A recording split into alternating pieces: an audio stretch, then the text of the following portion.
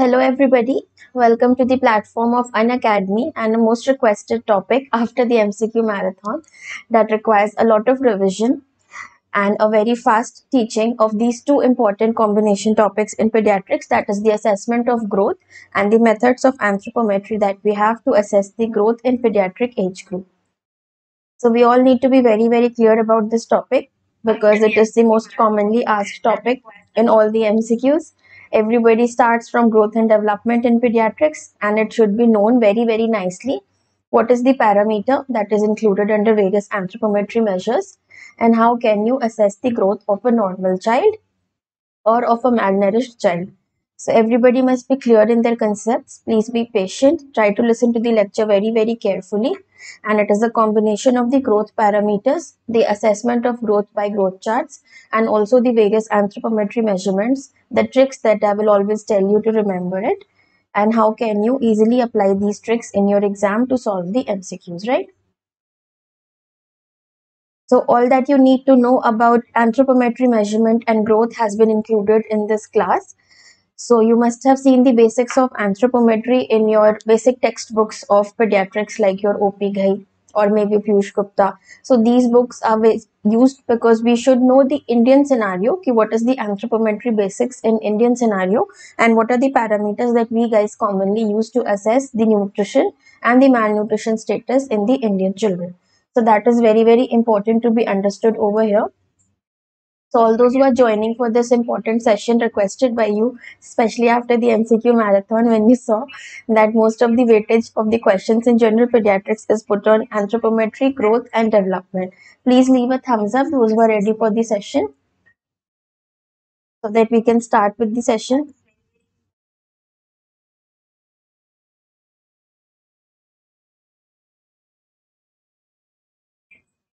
So those who are meeting me for the first time, hello to all of you. I'm Dr. Kavita Shrivastava. I qualify as MBBS and MD Pediatrics from VMMC and Safdarjung Hospital and RML Hospital, New Delhi. I also specialize in pulmonology and management of critically sick newborns. And my achievements include being a 10 CBSE topper, a Green Scholar of my high school, and MD Silver Medalist. So just a word about an academy, why to join an academy and what is the benefit. So we all know that online media is the best running media presently for your NEET PG preparation. So all those who are preparing for the exams for the upcoming NEET exam, which is this year also, not very late, it's very close now in September. So just approximately one month and few days are left. Plus those who are preparing for the next NEET exam or the INI CET exam or your FMG exam. So everybody should be aware that it online media is going to save you a lot of time and effort. So you should know how to buy time from your own schedule. Nobody can buy time, but we can buy time from out of our own schedule. So how do you do that? So because you're studying from an online media, what benefits you have? You can attend a daily life class. So what is a live class where you can chat with your educator, you can engage in all the discussions, you can clear your doubts and you're done and dusted with that particular topic. So concept clearing is very, very important. Somebody is teaching you right in front of you and whatever doubts you have, you can ask n number of times that you feel like. So it is very, very important to have daily life classes and it saves so much of time that you don't need to go and open your books again and again and keep reading the same topic all by yourself to memorize it. So all the tips, all the tricks, all the questions and everything that is related to that topic can be discussed on the class itself. So that saves you a lot of time. You get into the habit of giving live tests and quizzes. What's the benefit here? So once you go and give your grand tests and mock tests, your mind is ready how to give the main exam. The exact circumstance in which you have to sit for your main exam is how you're going to give your grand tests and mock tests. So you get a lot of opportunities to solve mixed bag of MCQs from all the subjects. You also get a lot of opportunities where you can assess yourself, mark yourself, you can get your rank as well. So it is going to help you see where are you lying, how much more you need to study and where are you lagging behind, what are the topics that need revision and you can make a total assessment of yourself out of these grand tests. Then we also have got structured courses so structured course का क्या benefit है? अब क्या पढ़ना है? कहाँ से पढ़ना है? कितना पढ़ना है? कैसे पढ़े हैं? So all the nineteen subjects have been structured in a very nice manner so that you exact get in get an exact blue print कि हाँ मुझे क्या पढ़ना है? कौन सा सिलेबस सबसे अच्छा है? कहाँ से क्या पढ़ सकते हैं? और कितना पढ़ना है? Which are the high yielding topics for my exam so that kind of concept you get out of the structured courses then we have unlimited access so unlimited access का क्या benefit है now most of you must be wanting to attend anthropometry maybe some of you are still not free from the hospital maybe some of you might be sleeping post duty so what happens you get to miss classes no you don't miss the classes you get to attend the recorded version also so all the access to the live and the recorded version on this platform is going to be very very helpful if you take the plus subscription. So all of those who are still into the process of taking Unacademy app and trying to subscribe, please go and subscribe. It's going to be very, very useful for you. So Iconic subscription is another five star subscription that we have. It is a combination of Unacademy and Prep Ladder. So what is the benefit here? अगर आपको ऐसा लग रहा है कि हाँ अन academy में जो आपने थ्योरी पढ़ ली वही क्वेश्चंस आपके अन अकेडमी टेस्ट में आ रहे हैं and that's why you're scoring nice and you're feeling happy that is not the scene so what happens you get the exposure of both this platform so you get a confidence in side you कि जो आपने पढ़ा है, वही बाकी बच्चों ने पढ़ा है। और अगर किसी भी प्लेटफॉर्म से आपसे क्वेश्चन पूछा जाए तो आप उसका आंसर सही दोगे because you know the concept so combination of these two is going to make you very thoroughly revise your curriculum ठीक है? It's going to give you a very strong revision for your course and syllabus because we have live classes and batch courses again that you attend all the live classes We have so many live tests and quizzes where you can again evaluate your own preparation, the way you are preparing, the amount of uh, marks that you're able to score out of these grand tests. Then we have got video lectures and question banks so you get to see all the video lectures of all the subjects. You also get the PDF of the notes, the printed copies and everything. And there is rapid revision courses also. So rapid revision courses are going to again help you have a very good high yielding revision before your exam. So, a complete package to make you totally strong and strong and stubborn to go and crack the exam is going to be iconic subscription. जो जो लोग अभी भी सोच रहे हैं कि हम कुछ ले ले एग्ज़ाम प्रिपरेशन के लिए please just go for iconic subscription it's going to give you a very high boost before your exam because the preparation is going to be very very important and very good for all of you तो जो 2021 का NEET exam दे रहे हैं so all these integrated classes have been organized where you get to interact with your top educator and all the subjects have been integrated so that the hours have been fixed, the dates have been announced, and it is taken up by all the top educators on our academy. So you can go and attend these classes, those who are appearing in this year's NEET PG exam. So we also have got a Focus FMG batch. So Focus FMG batch mein kya? It is for a six months duration. So what happens here? Again, those who are preparing for the FMG exam, you can easily take up these courses. It's again going to have a complete structure of live interactive classes you would also get all the pdf of the notes the recorded version and all of that is going to be available over here so that you can prepare for your fmg exam really really well so those who are fmg aspirants please go and take this subscription it's a very nice subscription although you although you might be studying from some other media but you can still appear for the tests from this and it's going to give you a lot of boost for your preparation. So the last mile to meet PG exam those who are going to take the exam this year in one month's time so a lot of less time is now left even less than two months approximately one month. But the course can still be very useful for you. Why? Because we have all the high subject wise high yielding topic revision tests and discussions all 19 subjects would be covered it is the last mile to interact with the top educators where you can clear your doubts and everything is going to be very nicely answered and explained to you so that you're not left with any doubts in your mind and you can take the grand tests, practice yourself and easily go for the exam. तो grand test कैसे दोगे जैसे NEET PG का exam देने जा रहे हो ठीक है इतने सीरियसनेस के साथ देना है बट जब मेन एग्ज़ाम देने जा रहे हो तो इतनी कूल होके जाना है कि जैसे मैं दूसरा ग्रैंड टेस्ट देने जा रहा हूँ ठीक है so those are sitting comfortably चलो नेक्स्ट ईयर का एग्जाम ही प्रिपेयर करना है ठीक है if you're freshers right now and attempting for next years we also have a very nice package for you for six months duration so you can take up this package again you would have all the live interactive classes tests and discussion doubt clearing sessions all the pdf of the notes recorded version of the session everything would be given to you so you can take up this course it's a very nice course from all the top educators So you can prepare for your upcoming exam really, really well. Then we have a professional year three batch course where all the foundation courses are going to be covered. covered.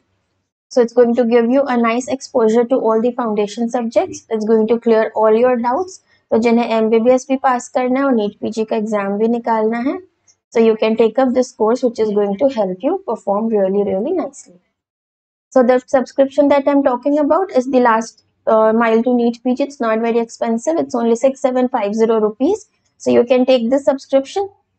You can go through all the high yielding preparation and it is going to help you boost up your confidence before entering the exam hall. So 12 plus 2 offer is still valid. Those who want to extend their viability of access for two months, you can take this course take the subscription so whatever is left out of your preparation you can easily have an access of extra two months towards your course. So हर चीज़ का एक limited time होता है. Iconic is the best that I told you. So Iconic also has got the limited time offer. Whenever you go, please take a 36 or a 24 month plan. So what you have to do, can you see the drop rates have dropped down drastically? This is because of the limited time offer. So please go and take the Iconic subscription. Even if you cut it short to your monthly or daily basis, what will happen? You will see that it is very, very useful. It's not at all expensive. So you can easily take this subscription and start preparing for your NEET PG and come in the competition. Okay, so those who are preparing for their MBBS exams, there is a four-year subscription also. So you can take this subscription. The cost is not very high. 60,000 for plus and 75,000 for iconic but it is for 4 year subscription so if you take this subscription what would you see that you're able to prepare for all the foundation courses right all the foundation subjects are going to be covered and you can also crack the NEET PG exam at the same time so that is the benefit of doing a 4 year subscription Okay, so for all of those who are listening to the YouTube class right now, we also have got special classes. So what are these special classes? These are special free classes that you can access on the Unacademy app. So please download the Unacademy app in your phone. Once you download it, you can go and select my profile by my name, that is Kavita Srivastav. And once you start to follow me, you will get all the notifications of my classes on pediatrics and neonatology that I'm taking because I'm your pediatric educator. So you'll get notification of all the special classes that is happening on Unacademy app.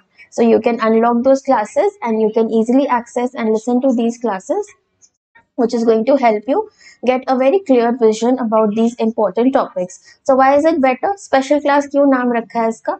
because again it's an interactive live class similarly you can ask your doubts to me over there i'm going to raise polls with the learners that means once the topic is done i can ask you questions as well so you would get to know that out of all the listeners those who were listening to this topic who has answered what कितने लोगों ने सही answer किया कितने लोगों ने गलत किया आपने क्या किया और आपका रैंक इन लोगों के बीच कितना है so that is what is the meaning of poll from the learners so that is a very special features present in special class you have raise a hand, you can talk with your educator, you can clear your doubts anytime that you have during the topic. Never miss a class. Why? Because obviously you get updated with the notifications that you get regarding the classes and the educators that you follow. Lecture notes can be easily available over there so जो भी आपने पढ़ा है ma'am ने एक बार पढ़ाया, दोबारा पढ़ना है. So you can download the lecture notes and listen easily any time and anywhere and you can also access the course any time and anywhere that means आपने, आप अपने फ़ोन में डाउनलोड कर दिया you can easily sit anywhere and listen to the class so you think out of so many special features would you be able to miss on any session any session can be missed no it can not be miss you will stay highly updated and you will be interacting with your educators right from the app and you can see how other children are preparing and where are you lying out of the crowd so that is what is a special class feature इसलिए इसका नाम special class है so most likely I'll be taking many special classes this upcoming month also. So please schedule your classes and try to attend these classes so that you get a better picture of the topic and you can also see what other students are learning and what what is the right answer that they are giving so that gives you a very clear picture where are you lying in competition okay So to sum it up, we have got plus subscription and iconic subscription. जब भी कोई subscription लेते हो इतने time के लिए लो so that you are able to prepare very very well from that and you have good amount of accessibility to these courses so at least 48 month 36 month or a 24 month plan is going to be fruitful enough for these subscription So if you see the per month cost is not at all very high इतना तो कोई भी spend कर देता है, आप भी करते होंगे। So please don't think too much it's very useful अगर आपको कुछ नया सब्सक्राइब करना है तो please take iconic subscription personally I would also recommend आपको ऐप पे जाना है you have to choose the subscription you want to take it would be better if you take iconic you have to go to purchase section and then you have to put down the payment options. So once you start to pay what will you do? You can just put my magical code which is very simple.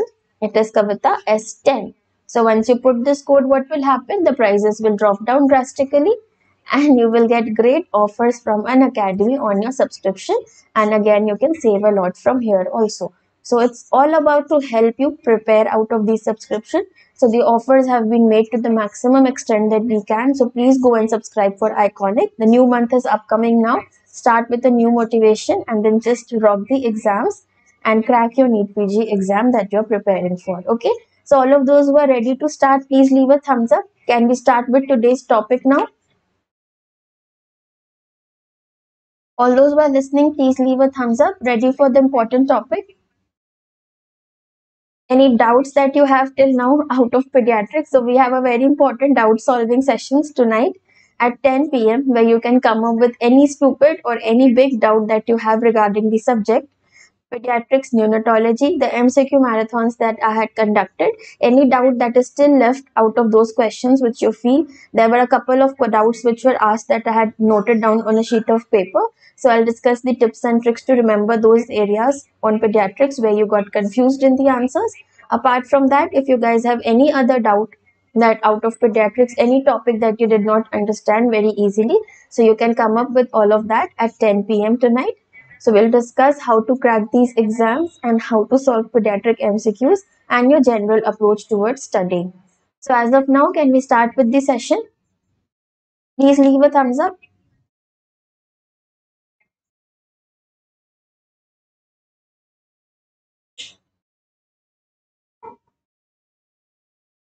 Okay. So it's great. Now we can start with this important topic. So we are going to see what is a normal growth?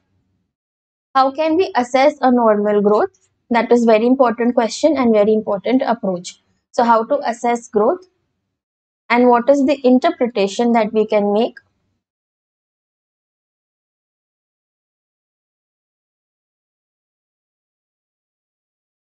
That is required out of growth. ठीक है? So what do you understand by growth? बहुत simple सा word है, बहुत simple सा definition है. Growth only denotes a net increase in the size or the mass of the tissue growth का मतलब क्या होता है? जो भी टिश्यू हमारे बॉडी में है या तो उसका साइज़ बढ़ गया या उसका मास बढ़ गया। सो so, साइज़ बढ़ने का मतलब क्या होता है? It's very simple the size can increase because of increase in the substance inside the cell or there can be increase in the number. So size or mass of the tissue increases. तो हम उसको कहते हैं क्या The growth has occurred. So very simple definition. Growth denotes a net increase in the size or the mass of the tissue.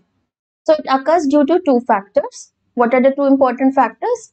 It either occurs because of multiplication of cells or increase in the intracellular substance. So what can happen?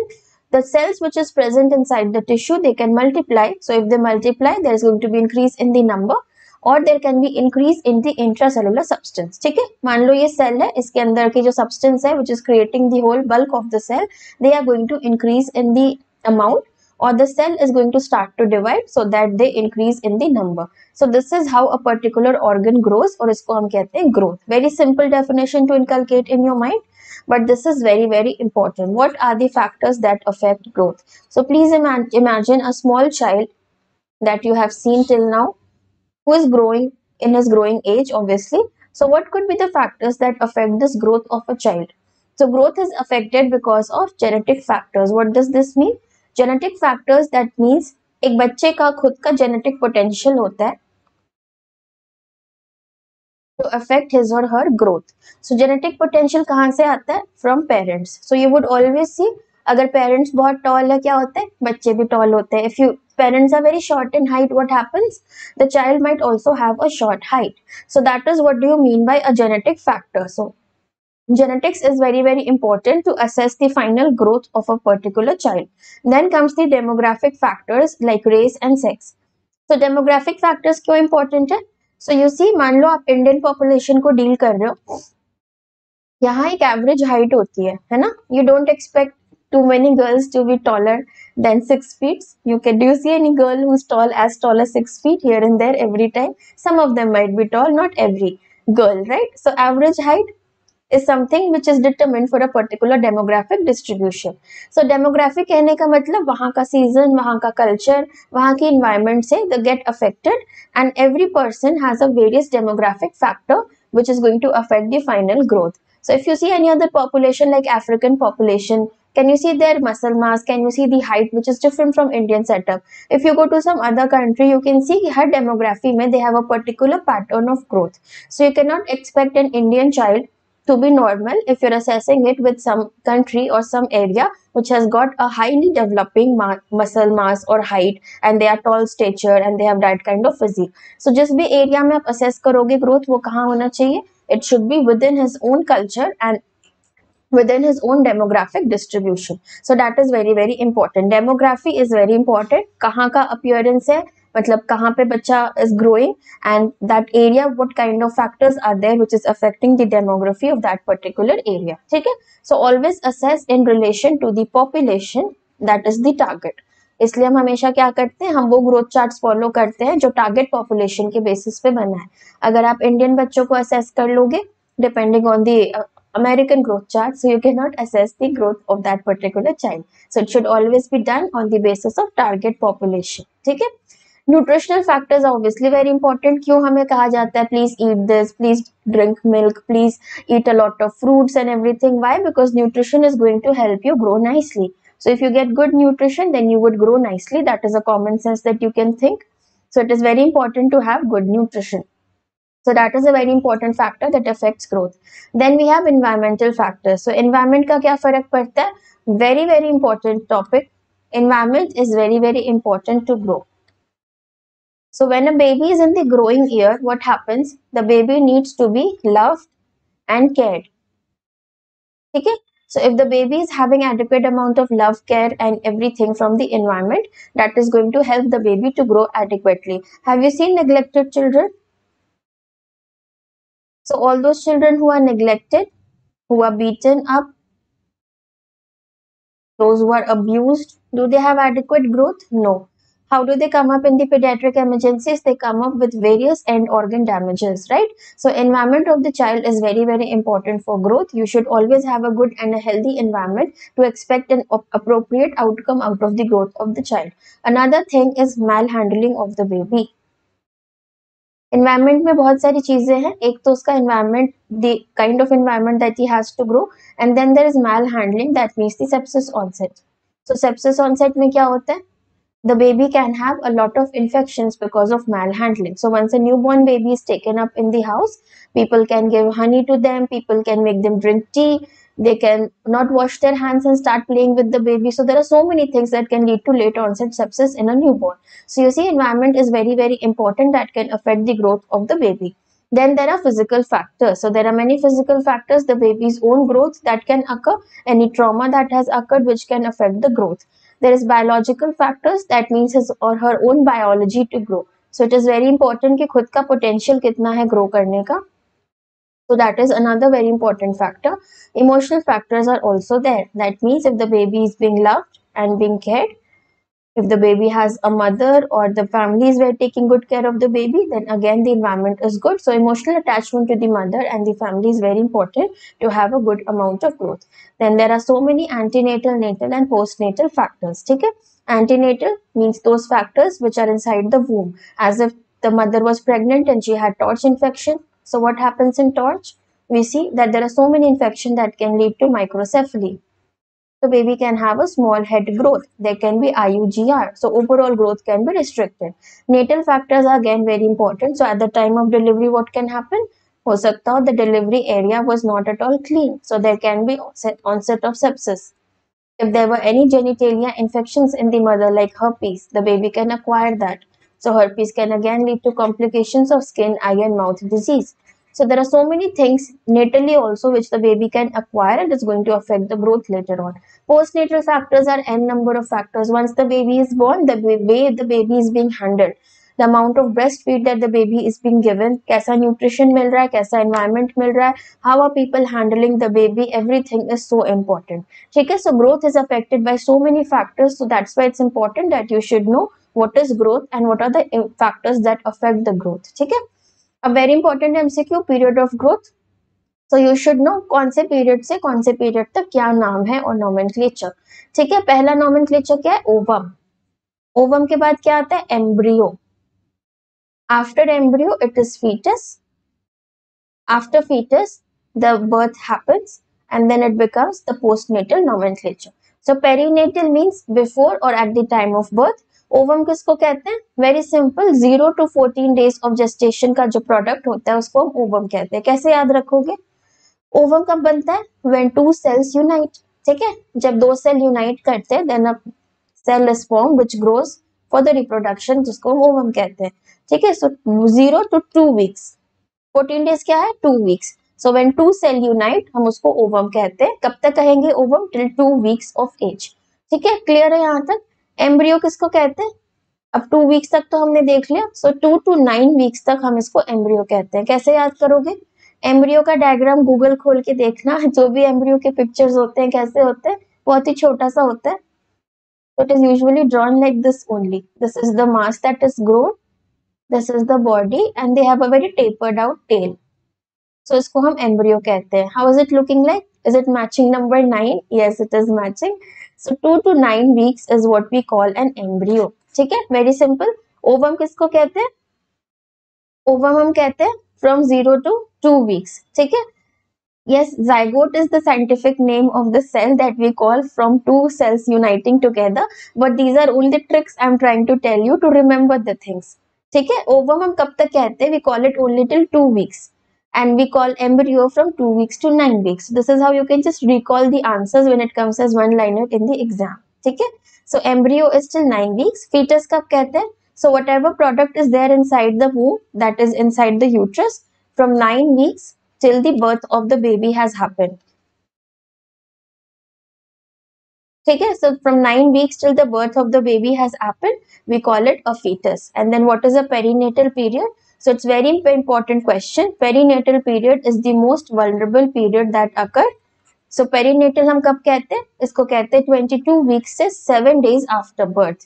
Please remember it is the most important question and the most important period that can be asked as a simple one liner.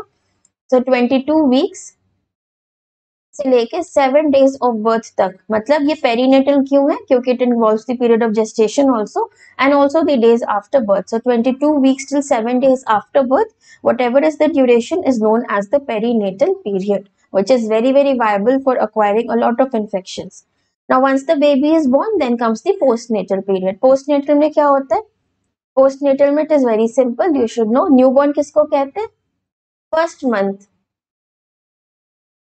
That means how many weeks four weeks कोई आपको 28 days they all are right answers ठीक है? So you should know how to convert the simple maths so very simple newborn is first month infant क्या है? First year so till first year of life you will call the baby and infant toddler क्या होता है? Who keep toddling around जो school नहीं जाते school हम कब जाते हैं? तीन साल की उम्र पे. So one two three years of age क्या है? Toddlers they don't have anything to do तो से they keep toddling around here and there ठीक है? प्री स्कूल चाइल्ड किसको कहते हैं? अनदर थ्री इयर्स ऐड कर दो। So three to six years को हम प्री स्कूल कहते हैं। ये स्कूल जाते हैं but they're not serious about the school school going children किसको कहते हैं? सिक्स ईयर्स से ट्वेल्व ईयर्स तक। उसको डबल कर दो। ठीक है? सो स्कूल गोइंग हो गया from six to twelve years of age so please remember these नॉमेंट very simple question you know once in a while out of ten MCQs that you are doing in your exam NEET PG exam or any exam even in your grand test one question in the middle which which comes up which looks very simple what is a preschool preschool child so you feel like oh this is preschool child but once you see the options two year to five year, five year to seven year, three year to six years, six years to 12 years, and then you get confused. What did I read and what is a preschool child? So there should be no confusion in your mind. Always learn something with the concept of word association or simple tricks. ऐसे question exam में बहुत आते हैं simple one liners just to confuse you but you have to be very clear how to answer them so if you know these nomenclatures even if they come up as a random question in your grand test or maybe in your main exam you can easily answer it so please be very very clear in your mind that's why use these kind of mnemonic so that it can hit in your brain whenever you get this question in front of you okay clear है यहाँ तक? कुछ doubt है please ask in the chat box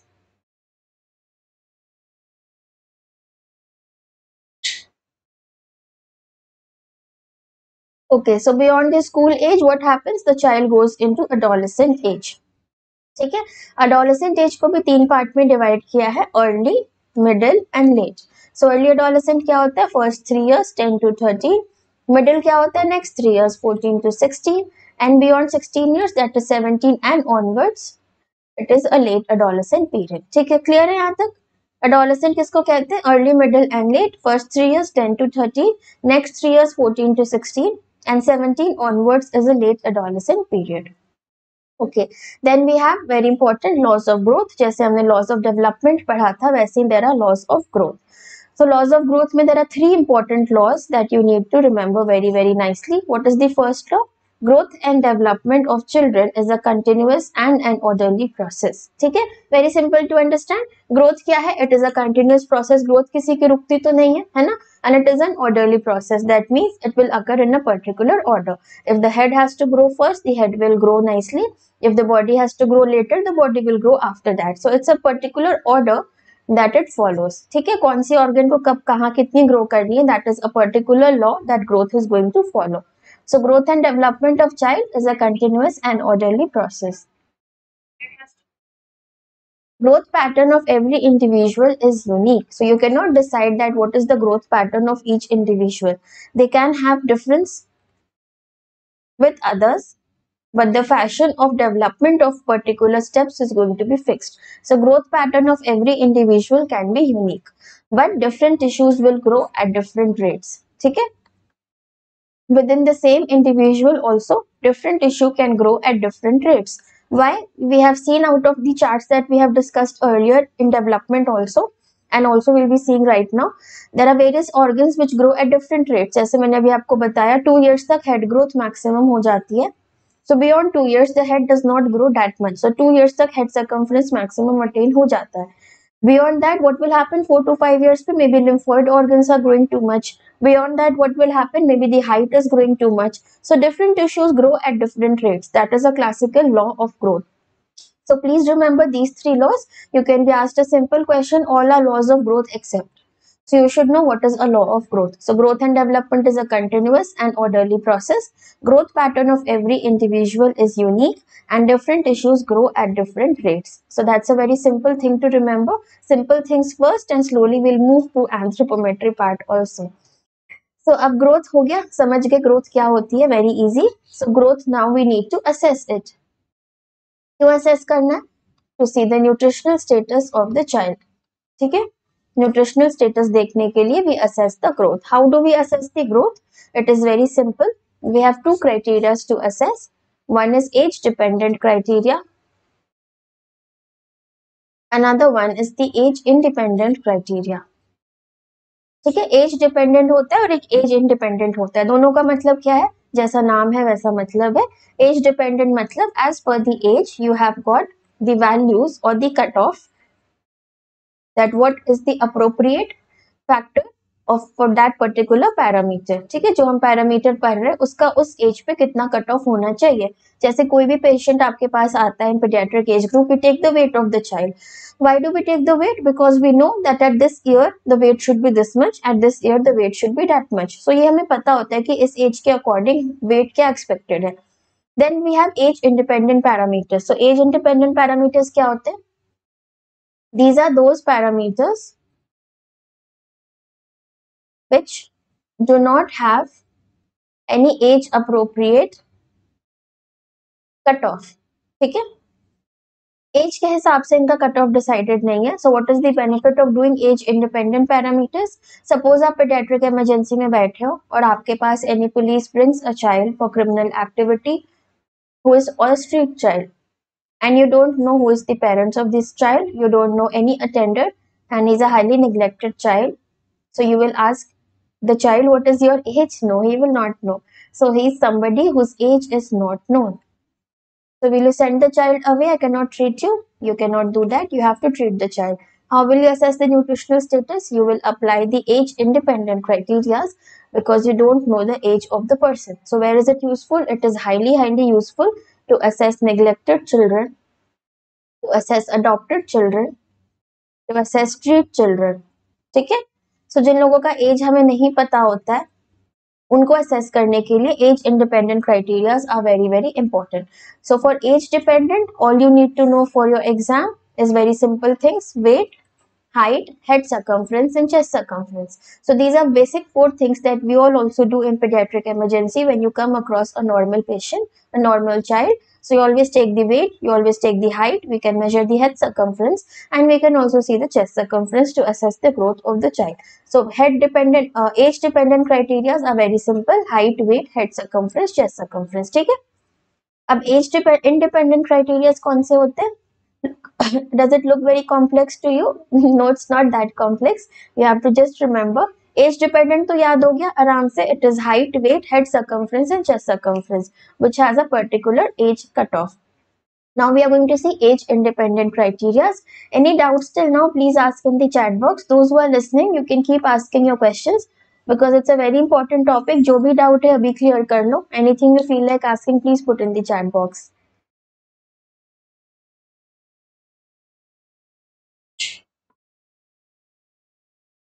Age independent criteria you should know. India may most commonly that we use is mid upper arm circumference. Okay. So mid upper arm circumference is one very very common thing that we use and it is the practically most commonly used criteria for assessing the nutritional status of age independent children. Uh, the children whose age is not known. Apart from that we also have BMI which does not depend on the age then we have all these indices which has been made out of Indian uh, children so that you can assess their nutrition. One is Kanavati and McLaren. Another one is Rao and Singh. Third one is Dugdale. Fourth is Quaker arm circumference measuring stick. And we have Jellif's ratio. So you can remember these names. Yes, you can remember. It's very simple. Kanavati and McLaren. Rao and Singh Dugdale Quaker, arm circumference measuring stick and Jelliffe's ratio ठीक है? Will see each one of them and then you can easily recall that all these complicated names कहाँ पे थे? Complicated जगह पे। Complicated क्या है? Age independent criteria जहाँ हमें एज ही नहीं पता बच्चे का। ठीक है? सो प्लीज़ रिमेम्बर ये सारे एज इंडिपेंडेंट क्राइटेरियाज है, जो सिंपल क्राइटेरियाज है जो हम यूज़ करते हैं daily is made upper arm circumference and B M I Even if you don't know the age of the child, you can use simply mid upper arm circumference and the BMI to assess the nutrition. Okay? So have a look at this chart, classically taken from your standard textbooks, very commonly asked in the exam. So here, what do you see? You see that all the complicated names that we had discussed has been given in form of a chart. उनका formula दिया है, उनकी normal values दी है और उनकी value malnutrition में कितनी होती है that you need to know. ठीक है can you remember it obviously you can remember it's very simple how very simple simple tricks to use and learn it word association that i always teach you in all my lectures in all my mcq marathon and everywhere as much as i can make you revise through the simple simple tricks so that you don't forget anything after the session ठीक है चलो एक एक करके देखते हैं। Karnavati and मेक्लैरन नाम क्या है? कर्नावती एंड मेक्लैरन ये तो समझ आ गए, सारे कॉम्प्लिकेटेड नाम कहाँ पे थे? All these complicated names were a part of age independent criteria so Kanawati and McLaren में क्या दिख रहा है? There are three words Kanawati and McLaren में कितने वर्ड्स हैं? देर आर थ्री वर्ड्स ठीक है? मैक्लैरन में एम सुनने में आ रहा है। कर्नावती मैक्लैरन में एम है। So what is the formula? It is simply mid arm circumference upon head circumference. ठीक है m है तो m को ऊपर रखना है m is going to help m so m is going to come as a numerator ठीक है clear है mid upper arm circumference upon head circumference so m is going to come on the top so the formula is going to be mac upon hc कितने words दिख रहे हैं तीन word दिख रहे हैं नॉर्मल वैल्यू क्या है ज़ीरो पॉइंट थ्री टू ठीक है zero point three three so you should know zero point three is the normal value अगर किसी बच्चे को मैल न्यूट्रिशन होगा तो क्या होगा? कॉमन सेंस उसकी वैल्यू नॉर्मल से कम होगी। So how much how much should be the value less than zero point three क्या होता है? Less than zero point two तो किसी की value less than zero point two है, what is going to happen? You will call that child going to be malnourished because of applying what? Kanavati and Maclaren index. So, hello to those who are joining. I'm glad that you guys are joining in. We are studying about the anthropometry and growth part of pediatrics. Most important topic in pediatrics, most commonly asked in your exam. So you cannot go to the examination hall without reading growth and development in pediatrics. Okay? So I'm trying to simplify everything so that you don't forget anything after this session. Clear है यहाँ तक? Please leave a thumbs up. Everybody, those who understood the trick. How to remember it कुछ doubt है तो please पूछ लो Kanawati and McLaren age independent criteria है। कैसे apply करना है? थ्री वर्ड्स दिख रहे हैं यहाँ पे। सो so, तीन लेटर का न्यूमरेटर है MAC that is mid arm circumference divided by head circumference ये कंफ्यूज मत हो जाना ऑप्शन में कि हेड सर्कम्फ्रेंस ऊपर था कि मिड ऊपर था। ठीक है कैसे याद रखोगे? एम दिख रहा है मैक्लैरन में। M is going to support M so McLaren का एम के वजह से मिड आर्म सर्कम्फ्रेंस ऊपर रखना न्यूमरेटर में हेड सर्कम्फ्रेंस नीचे आएगा। Can you see three words in Kanavati and McLaren? So what is the cutoff? It is 0.33. What is going to be the assessment? अगर आपको 0.33 से कम मिल रहा है that is that's less than 0.2. What is going to be the value? It, uh, less than 0.2. इसका क्या मतलब है? The child is severely malnourished. ठीक है क्लियर है Karnavati and McLaren so let's see the next one please leave a thumbs up if it's clear to you any doubts you can ask right now i can repeat it again ठीक है? Okay so Rao and Singh में what is there next that we have is Rao and Singh ठीक है clear है? Kanawati and so let's see Rao and Singh Rao and Singh का नाम it's very clear Rao and Singh ठीक है? So इसमें कैसे याद रखोगे? सबने सुना होगा गाना सिंह इज़ किंग ठीक है? सिंह इज़ किंग तो सबको पता है। किंग क्या होता है? नंबर वन नॉर्मल वैल्यू क्या है? ज़ीरो पॉइंट वन ठीक है? फॉर्मूला क्या है? Very simple formula weight in K G divided by height square into hundred क्योंकि सिंग इज़ किंग वन है सो so इससे हम हंड्रेड याद रख सकते हैं यहाँ पे. So don't get confuse weight divided by height square into hundred is the formula for Rao and Singh ठीक है? Singh is king so that way you can remember point one is the normal value for this and formula में क्या है? Weight by height square into hundred weight by height square into hundred is the normal formula that we use for Rao and Singh cut off क्या होगा? Obviously अगर zero point one से कम हो जाएगा तो so less than zero point one या फिर less than zero point one two very precisely you can remember that is what is the formula for severe malnutrition in these kind of children. ठीक है? Clear है यहाँ तक कोई doubt है तो प्लीज़ पूछ लो अभी तक। Any doubts that you have no doubts clear है? Singh is king very simple mnemonic to remember कहीं का, कोई कंफ्यूजन नहीं होना चाहिए एग्ज़ाम में। ठीक है? सिंग इज़ किंग से आराम से याद रखना। Hundred is the factor over here and normal value क्या है? ज़ीरो पॉइंट वन सो उससे अगर कम होगा तो there is severe nutrition Dugdale में क्या होता है? डुगडेल ठीक है? Can you see double D D N D Dugdale में? Can see double eight zero point eight eight so ये डबल डी को एट बना दो. So simple you can remember Dugdale का कट ऑफ़ वैल्यू कितना है? Zero point eight eight malnutrition कब होगा? जब उससे कम हो जाएगा so zero point seven nine that is the cut off for severe malnutrition ठीक है?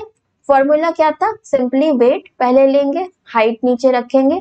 फैक्टर कितना है हाइट का? वन पॉइंट सिक्स एट और एट को ऐड कर दो, कितना बन जाता है? Sixteen so this is how you can simply remember the formula don't get confuse in exam कौन सा फॉर्मूला किसका था? Simple word association to help you remember and recall easily in exam ठीक है?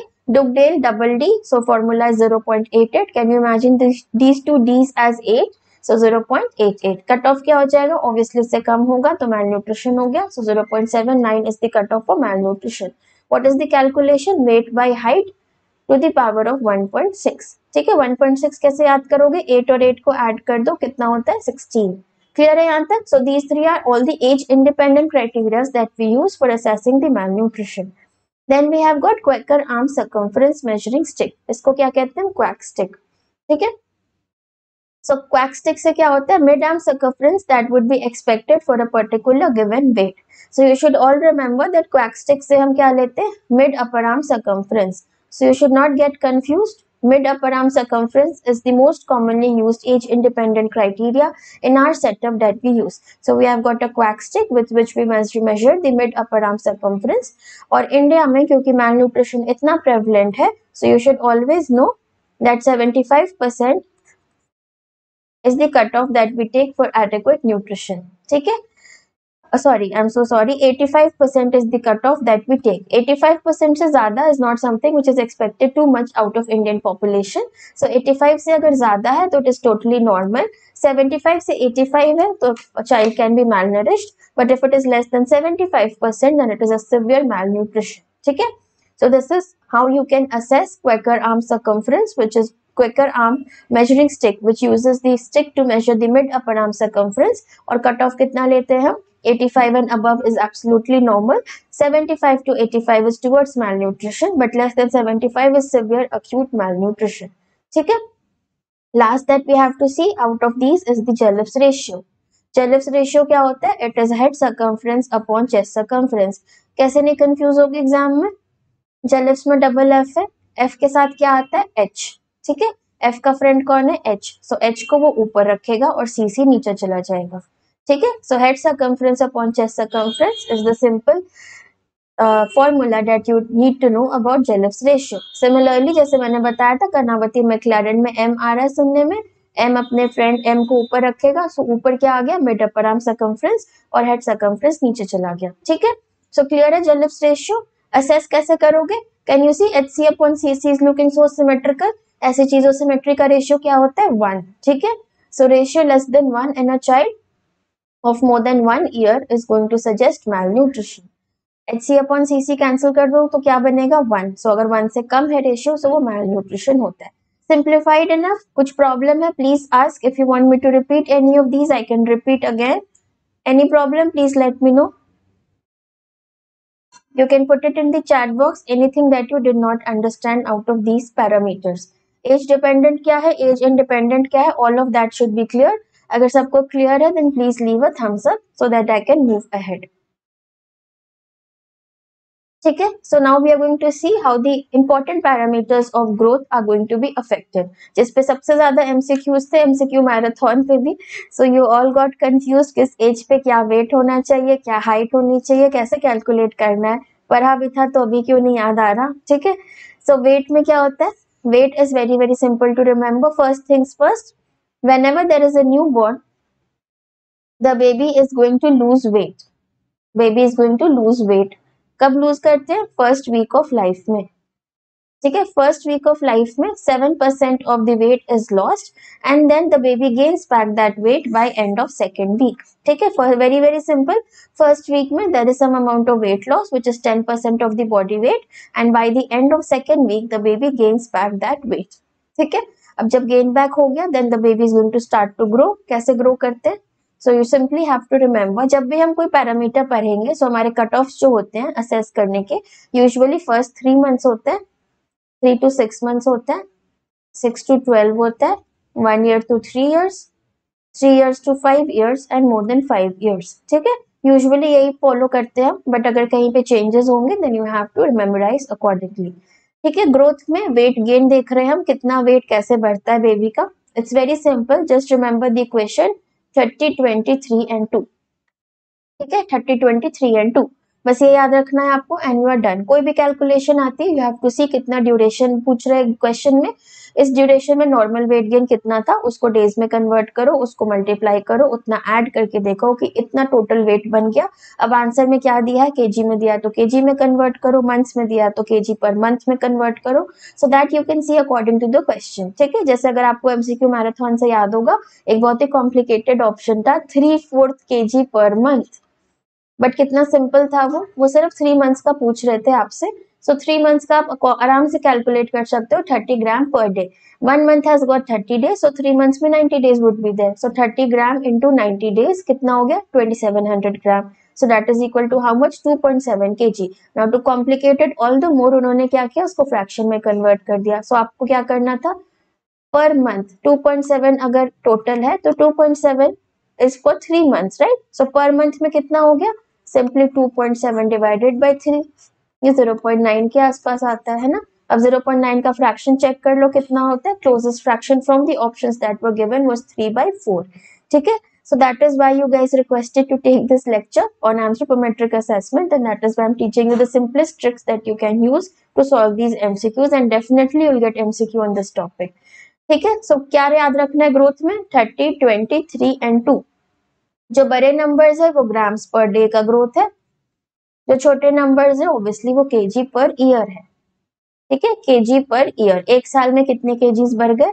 और एवरी डे कितना ग्राम पढ़ रहा था। So you should always remember growth में एक very important concept that is that the earlier the age of the child उतना फास्ट ग्रोथ होता है। हम कहते हैं ना, छोटे बच्चे बहुत जल्दी बड़े होते हैं। That is why because we see the earlier the age of the child more is the growth so height weight head circumference these are classical things which are growing to grow very very nicely in the initial days of the baby's life ठीक है?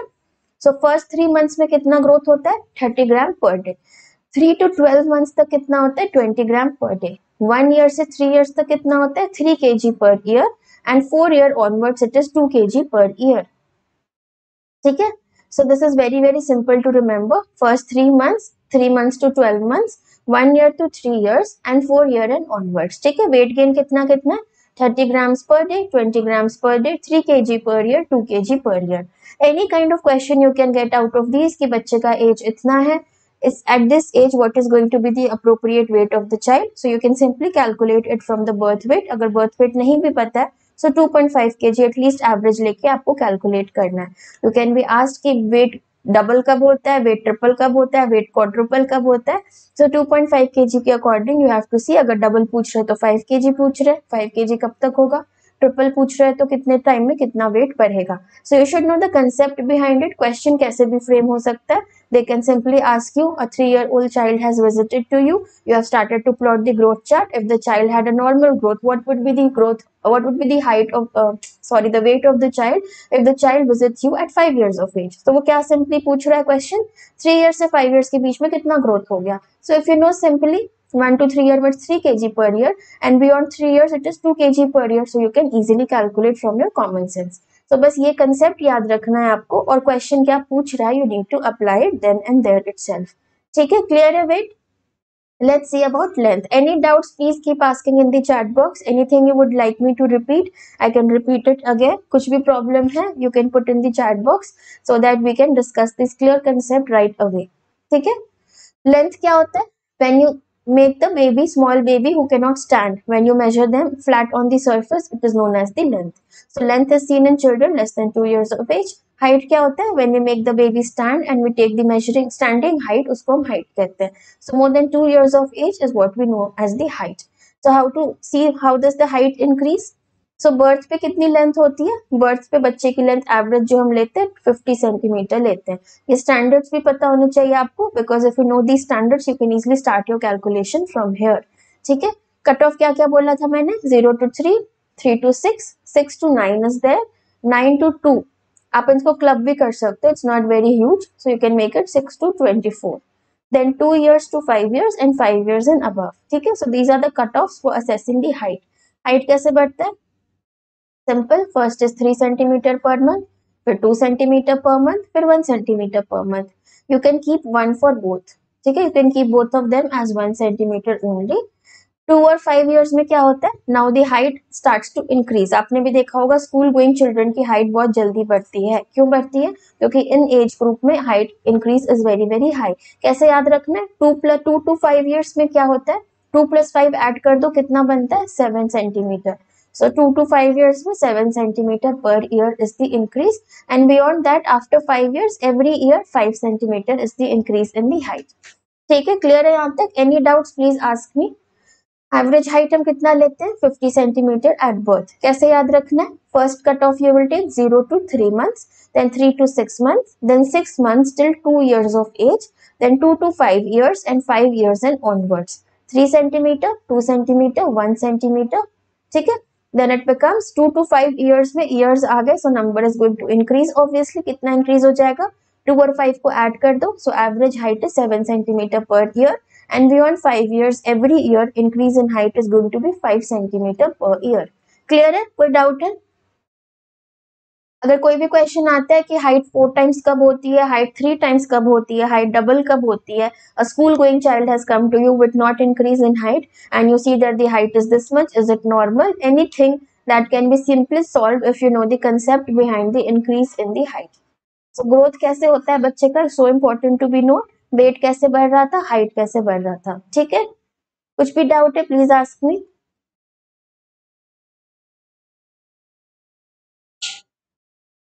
okay. So, depending on the height, we have two very important questions that come up. What is short stature and what is severe short stature? तो short stature किसको कहते हैं? जिसकी height कम है। कितनी कम है? हम क्वेश्चन में क्या दिख रहे हैं? डबल एस बहुत कंफ्यूजन इस क्वेश्चन को लेके but please get it clear today short stature यहाँ क्या पूछ रहा है? Severe short stature double S है. Cut off is less than minus two standard deviation यहाँ पे तीन एस दिख रहे हैं। Cut off is minus three standard deviation ठीक है? शॉर्ट स्टेचर किसको कहते हैं? जिसकी हाइट नॉर्मल हाइट के कंपैरिजन में less than minus two standard deviation है from the mean of that particular age gender and race that is known as short stature severe short stature किसको कहते हैं? जिसकी हाइट नॉर्मल रेस एज और population के comparison में it is less than minus three standard deviation no confusion about it please don't mark your answer for short stature as minus 3 standard deviation that's highly wrong short stature is less than minus 2 and severe short stature is less than minus 3 standard deviation. You keep getting questions on short stature, very very important it is. So please understand short stature कहते हैं less than minus 2 standard deviation. फिर tall stature किसको कहेंगे obviously जिसकी two standard deviation से ज़्यादा है so so, जिसकी height more than two standard deviation of the normal age population and gender that is known as a tall stature ठीक है? डेफिनेशन क्लियर है? शॉर्ट स्ट्रेचर क्या होता है? सिवियर शॉर्ट स्ट्रेचर क्या होता है? और टॉल स्ट्रेचर क्या होता है? अब कॉजेज पे बहुत कॉमन क्वेश्चन आते हैं so you should know the of tall stature many times given you this example tall stature क्या है? जिसकी हाइट लंबी है। जिसकी हाइट लंबी उसको कैसे देखते हो? You see him like this you have to give respect even if you don't want to give him respect so you see him respectfully ठीक है निमोनिक क्या है? My constitution should be precious constitution को हम respect देते हैं? Yes we do give so we all give respect to the constitution so tall stature it's a tall thing so we have to give respect to our constitution so इसका मतलब क्या है? Mnemonic ऐसा बनाना है जो topic का पता हो कि किस टॉपिक का निमोनिक बनाया था। ऐसा निमोनिक नहीं बनाना है, दो घंटे बैठ के निमोनिक बनाया और एग्ज़ाम में जाके भूल गए, वो था किस टॉपिक का, है ना? सो so, उसमें क्या होता है? आप उसको रिकॉल करोगे बट आपको यही याद नहीं आएगा कि मैंने बनाया किस टॉपिक का था। और अगर ये याद आएगा कि किस टॉपिक का था तो ये याद नहीं आता कि उसका एक्सपेंशन क्या था। So these are very common problems that you see in exams when you sit to give your grand test and mock test you would come across these experiences very very normal. ठीक है? So mnemonic कभी भी बनाओ चाहे वो किसी और का निमोनिक हो आपका खुद का बनाया हुआ निमोनिक हो हमेशा वो निमोनिक बनाओ जो आपको टॉपिक से रिलेटेड हो ताकि आपको याद तो आए कि हाँ वो टॉपिक था क्या। और इसका निमोनिक क्या था, ठीक है? So my constitution should be precious now if you expand you would see M stand for Marfan syndrome और पता भी होता है कि हाँ चलो, ये तो शॉर्ट टॉल स्ट्रेचर के कॉजेज होते हैं तो इसका एक्सपेंशन में ये आ सकता है। कॉन्स्टिट्यूशन से क्या है? Constitutional increase in height S से क्या है? सोटोस सिंड्रोम बी से क्या है? Beckwith Wiedemann syndrome and precious और प्रिकॉशियस सिमिलर लग रहा है आपको? So precocious puberty stand for precious ठीक है? सो इसमें कंफ्यूजन कितना कम है? कॉन्स्टिट्यूशन से एक हिंट आपको कॉन्स्टिट्यूशन नहीं मिल गया। प्रेशस से एक हिंट आपको प्रिकॉशस मिल गया। बी भी देख लो तो Beckwith Wiedemann syndrome it is sounding so much similar so you see how important it is to make a crisp mnemonic you can make anything that you feel like which is going to help you recall the causes in the exam from A to Z mnemonic हमेशा वो बनाओ जो आराम से recall हो सके। ठीक है? सो टॉल स्ट्रेचर कहाँ कहाँ मिलता है हमें? My constitution should be precious So, that is a simple mnemonic to learn about tall stitcher. ठीक है next we are going to start with head circumference तो हेड सर्कम्फ्रेंस में कुछ चीज़ें बहुत इंपॉर्टेंट है very commonly mistakenly asked in the exam and mistakenly done by everybody don't measure the head circumference before 36 hours of age ठीक है? Gynae में posting लगी होती है, काफ़ी बार you have to go and examine the baby also. So, if you go and tell your senior कि sir इसका head circumference तो मैंने चार्ट पे लिख दिया है. अ न्यू बॉर्न का so you will get scolded why thirty six hours के पहले हेड सर्कम्फ्रेंस लेने का कोई फ़ायदा नहीं क्यों नहीं फ़ायदा क्योंकि उसको इंटरप्रेट नहीं कर सकते why can not you interpret because within some hours there's a lot of edema and scalp changes that occur in the baby maybe because of instrumentation maybe because of trauma during delivery so cephalhaematoma सबने सुना होगा gynae से है ना so you should know these kind of edematous changes can increase the head circumference and it will be erroneous. So you don't have to take the head circumference within 36 hours of birth. First things first, very very important. कभी भी 36 hours के अंदर head circumference नहीं लेना. जब भी head circumference लेना है, you should use a non-stretchable tape. Non-stretchable tape that means one which can be crossed up easily and it does not stretch too much. So non-stretchable tape is always to be used. You should always measure it with crossed tape method. Cross tape method कहने का मतलब क्या है जहाँ पे zero की mark है, वहीं पे दूसरा मार्क ला के अप्रोक्सीमेट नहीं करना you have to cross two marks and then subtract the number मान लो एक साइड पे आपका फोर्टी फोर आ रहा है, एक साइड पे आपका फिफ्टीन आ रहा है फोर्टीन आ रहा है तो उसको माइनस कर लो So is 30 centimeter. So that is going to be the head circumference. So that is what you mean by crossed tape method. Birth पे normal head circumference जो हम लेते हैं, उसका एक range होता है. It's never fixed. So please remember normal head circumference is 33 to 35 centimeter that you have to take. ठीक है so at birth what is the normal head circumference it is 33 to 35 centimeter that you have to take so head circumference with three things are very important. Don't take the measurement before 36 hours of age. Always use a non-stretchable tape to measure. Always use a cross tape method.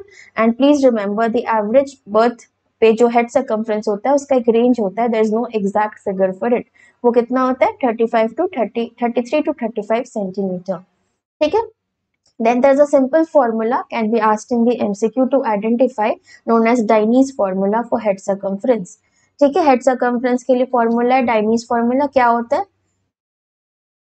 Length in centimetre plus nine point five plus minus two point five divided by two ठीक है so length plus nine point five divided by two plus minus two point five ठीक है डाइनीज में can you C nine डाइनीज and nine so what is the number over your nine point five that is how you can simply correlate it if you get a number of permutation combination in the exam so it can decrease your confusion and help you mark the right answer so Dini's formula kya hota hai length in centimeter plus 9.5 centimeter divided by 2 plus minus 2.5 centimeter so that is what is Dini's formula ठीक है? Very very important chart, must know topic.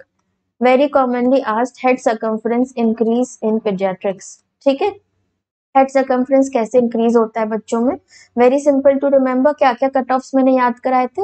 Zero to three months three to six उसके बाद till twelve then till three years and then three years to five years so जितना भी head circumference rise होना है that occurs till five years of age only पाँच साल के बाद you don't expect any too much increase in the head circumference of the child ठीक है? तो एज में कैसे कैसे याद रखना? जो हमने स्टैंडर्ड कट ऑफ़ यूज़ किए थे zero to three months three to six months six to twelve months ठीक है? Then one to three year and three years and onwards till five years very simple it is पहले होता है two centimetre per month अब अगर आपको ये पता है सिंपल सा रूल कि हेड सर्कम्फ्रेंस की ग्रोथ इनिशियल मंथ्स में सबसे ज़्यादा होती है। और धीरे धीरे स्लो डाउन हो जाती है। क्यों? क्योंकि हेड ग्रोथ टू ईयर्स तक तो मैक्सिमम होता है। तो जो नंबर्स हैं, वो ज़्यादा होंगे gradually it is going to decrease ठीक है? सो पहला कितना होता है? टू सेंटीमीटर पर मंथ फिर माइनस वन कर दो, उसका हाफ़ कर दो वन सेंटीमीटर पर मंथ उसका हाफ़ कर दो point five centimetre per month ठीक है? दिस इज़ स्टिल मंथ्स में जब तक बच्चा है। Once the child goes into year one to three years फिर कितना होगा? Every six months only one centimetre will grow and beyond that every year only one centimetre will grow ठीक है? Can you assess the pattern very easily So what are the cutoffs? 0 to 3 months, 3 to 6 months, 6 months to 12 years, जब years में आ जाता है बच्चा फिर one to three years and three years to five years ठीक है? कैसे याद रखना है? इनिशियली सबसे ज़्यादा हेड ग्रोथ होती है तो every month it is two centimetre per month तो आपने देखा पहले थ्री मंथ्स में कितना हो गया? सिक्स सेंटीमीटर तो यहीं पे ग्रो हो गया। ठीक है?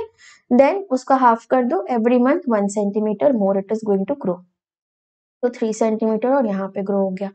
फिर उसका हाफ़ कर दो point five centimetre every month till one year ठीक है?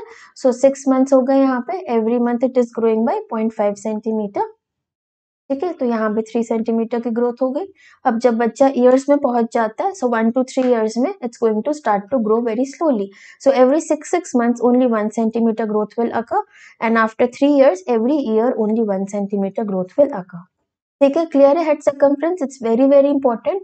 Please take a moment to learn it. It's very nicely explained over here and you have to remember it as it is. Question में कुछ भी आ सकता है. A baby is born with this this disorder. The head circumference at birth was this much. You are going to plot a growth chart. Please tell me the head circumference at this many months or these many years. So you should know how to trace the head circumference growth in a child. So this formula is very very important to be known. This pattern of growth is very important. कोई भी पूछ सकता है आपसे head circumference इस month पे कितनी होनी चाहिए अगर birth पे इतनी थी. So you should know how to trace and calculate it. ठीक है take a moment to understand it. If any doubts please ask me.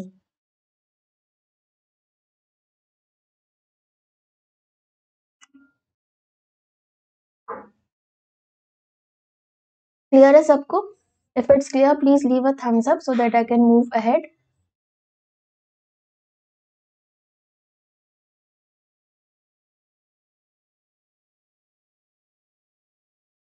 Okay, so you should understand how to calculate this head circumference. अब head circumference के assessment में दो चीज़ें हैं जैसे height में था increase and decrease that is short and tall stature head में we have macrocephaly and we have microcephaly ठीक है? So you should know macrocephaly and microcephaly इसमें क्या है? मैक्रो क्या है? Definitely if the head circumference is more than two standard deviation above the mean age gender and population तो हम उसको मैक्रोसेफली कहते हैं. दूसरा definition is also very very important if the head circumference is increasing more than two centimetre per month in the first six months हमने क्या देखा था? टू सेंटीमीटर पर मंथ कब तक था नॉर्मली अभी दिखाया था चार्ट मैंने till the first three months so अगर फ़र्स्ट सिक्स मंथ्स में every month the increase in head circumference is two centimetre per month then what will happen you will consider it as a macrocephaly causes क्या हो सकते हैं? There can be many causes याद कैसे रखोगे और exam में कंफ्यूज कैसे नहीं होंगे? Simple mnemonic Mac H three अब देखो मैक्रोसेफली पढ़ रहे हैं। मैक्रोसेफली में एमएससी आ रहा है। यहाँ भी एमएससी आ रहा है। सो so, ऐसे याद करना है ताकि कंफ्यूज ना हो। ठीक है? एम से क्या है? मेगैनसेफली ए से क्या है? एकॉन्ड्रोप्लेसिया सी से क्या है? कैंसर्स और ट्यूमर्स एच से क्या है? हाइड्रोसेफिलिस दूसरे एच से क्या है? हेमाटोमा तीसरे एच से क्या है? हेमोलिटिक अनीमिया वैसे भी कोई कॉमन सेंस यूज़ करने को बोलेगा तो क्या कॉजेज हो सकते हैं? हेड का साइज़ बड़ा कब हो जाएगा? When there is increase in the head mass तो megalencephaly is one cause if there is increase inside the head, if the water that is CSF is increased, hydrocephalus. if there is any space occupying lesion जैसे tumor या cancer if there is any blood occupying lesion like hematoma if there is achondroplasia so the whole skull is increased and if, if there is hemolytic anemia what will happen bone marrow hyperplasia so once the bone marrow will start to expand what will happen the skull will also expand ठीक है clear about macrocephaly you should be very very clear about it it's very important topic any doubt about it please tell me so that i can repeat it ठीक है? Clear है macrocephaly so simple mnemonic Mac H three which can help you rule out causes for macrocephaly ठीक है? More than two standard deviation अगर increase है as compare to normal population it is microcephaly and if there is increase in head circumference more than two centimetre per month in first six months ठीक है? Microcephaly क्या होता है? No please remember micro में the classical definition is less than three standard deviation छोटा है micro तो number इसमें माइनस थ्री स्टैंडर्ड डेविएशन है। ठीक है माइक्रोसेफली कब कहते हैं? When the head size is less than minus three standard deviation below the mean age gender and religion of that particular child ठीक है, उस एज पर जितना हेड सर्कम्फ्रेंस होना चाहिए था, उससे माइनस थ्री स्टैंडर्ड डेविएशन का डिफरेंस आ रहा है तो उसको हम माइक्रोसेफली कहते हैं। कॉजेज क्या गया माइक्रोसेफली के? It is M I C H two कैसे याद करोगे? माइक्रो पढ़ रहे वहाँ मैक्रो पढ़ रहे थे तो मैक एच थ्री था। या माइक्रो पढ़ रहे हैं तो मिक एच टू है। माइक्रो है तो छोटा हो गया तो एच थ्री से अब एच टू हो गया। और स्टार्टिंग में क्या है? M I C very simple ठीक है? Very very simple to remember क्या क्या हो सकते हैं causes now there are primary and secondary causes जो अक्वायर्ड कॉजेज है, मैं उसका निमोनिक बता रही हूँ। M I C H two primary causes में तो क्या हो सकता है, अगर बोन बना ही ना हो ठीक से दैट मीन्स क्रेनियोसिनोस्टोसिस हो गया। इसमें क्या होता है vault is not form properly there is overriding of the bones so ultimately the head size is going to be decrease but in a normal child what could be the causes in which the child can have microcephaly so M I C H two M से क्या है? मैल nutrition I से क्या है? Infection C से क्या है? Cycle defect double H से क्या है? हाइपोथायरॉयडिज्म एंड हाइपोक्सिया जो भी चीज़ें बॉडी में कम हो रही है थायराइड कम हो रहा है तो हेड छोटा हो जाएगा ऑक्सीजन कम हो रहा है तो हेड छोटा हो जाएगा इन्फेक्शन हो रहे हैं तो head size can decrease nutrition कम मिल रहा है तो head size can decrease and cycle defects भी है metabolic defects then again the head size can decrease is it clear M I C H two So that is the simple mnemonic to remember the causes for microcephaly and MAC H3 is the simple mnemonic to remember the causes of macrocephaly. And tall stature का mnemonic क्या था? My constitution should be precious. So that is how you simply remember these expansion of the mnemonics if you have made it related to the topic. Okay. Next we will see mid arm circumference. Very very important age independent criteria पे आ गए. Mid arm circumference क्या होता है? We take the circumference of the mid arm. Simple. कैसे लेना होता है? So please remember whenever you take the mid arm circumference, you have to do if you have to do this calculation, what will you do? Uh, this measurement. So you will take the child, you will tell him to stand with his hands simply flexed downwards. So you're going to mark the tip of the acromion process ठीक है? You going to take it midway between the process of the scapula and the olecranon of the ulna so what you do यहाँ पे जो tip palpate हो रहा है आपको shoulder का in normal flexed position and you have to simply flex the hands that is you have to simply flex it and you have to palpate the olecranon of the ulna ठीक है? So olecranon of the ulna that you have to take so in between these two you will mark it with the inch tape कि midway क्या है? मान लो इसकी length आपकी twenty आ रही है तो मिडवे टेन पे आएगा।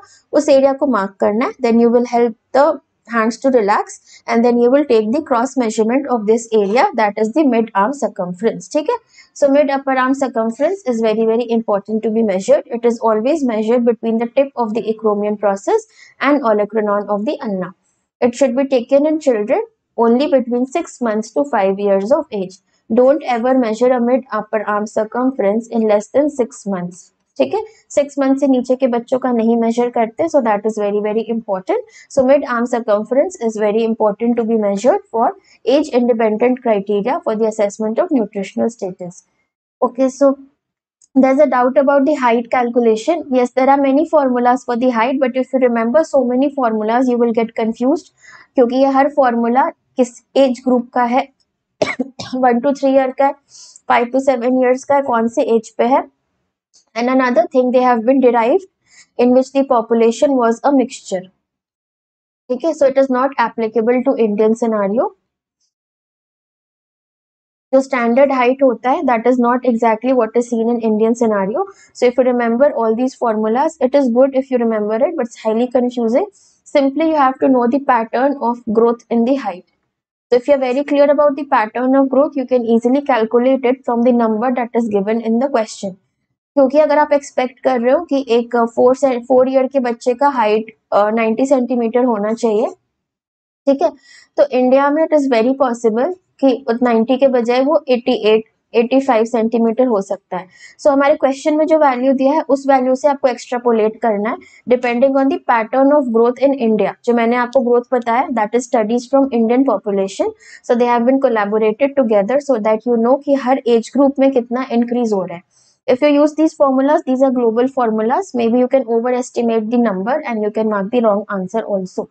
But if you remember it, it is well and good. It can be applied also. But it would be better if you know what is the pattern of growth in height and in weight also. So if you know that pattern, it is very easy to assess in the exam ki exact answer kya hoga क्योंकि आपके exam में options कैसे होते हैं अगर exact answer seven K G है तो option क्या होगा फाइव सिक्स सेवन एट ठीक है या फिर बहुत होगा तो सेवन एट नाइन टेन ऐसे ऑप्शन होते हैं. So it's very very close also so you should know exactly कि कितना ग्रोथ हो रहा है in terms of weight and height ठीक है? So if you can remember this formula अच्छी बात है. If not you should at least know the pattern of the growth because that is how you can easily calculate and you will be clear about the answer और ये सारे mixture of global population है so it's not based on Indian children so may be you will not get a right answer out of this formula ठीक है?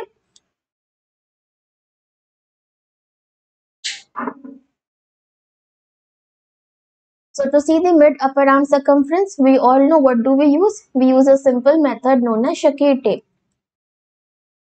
Shakir tape is one thing which is used to see the mid upper arm circumference. इसमें बहुत ही important होता है कि हम triage करते हैं patients को Triaging is important. Why? Because triaging is going to help you see which patient requires urgent care. Urgent care किसको चाहिए होती है जो SAM के patients होते हैं who are severely acutely malnourished. ठीक है Severe acute malnutrition patients require urgent attention. So we have to see red signal किस patient पे आ रहा है. Red signal कैसे होता है रेड सिंबल कहाँ आता है कट ऑफ़ कितना है लेस देन 12.5 ठीक है 12.5 से कम जितना भी मिड अपर आर्म सर्कमफ्रेंस आ रहा है that is very very important for SAM और सिवियर वेस्टिंग ठीक है? उससे एक सेंटीमीटर बढ़ा दो 13.5 तक आ रहा है तो still salvageable if it is more than 13.5 then the child is normal ठीक है? So there only three classification normal borderline malnutrition and severe acute malnutrition. Less than 12.5 12.5 to 13.5 and more than 13.5 so this is what it is a shakir tape method clear hai yahan tak now another thing that you need to know is only the name. It is not used in India.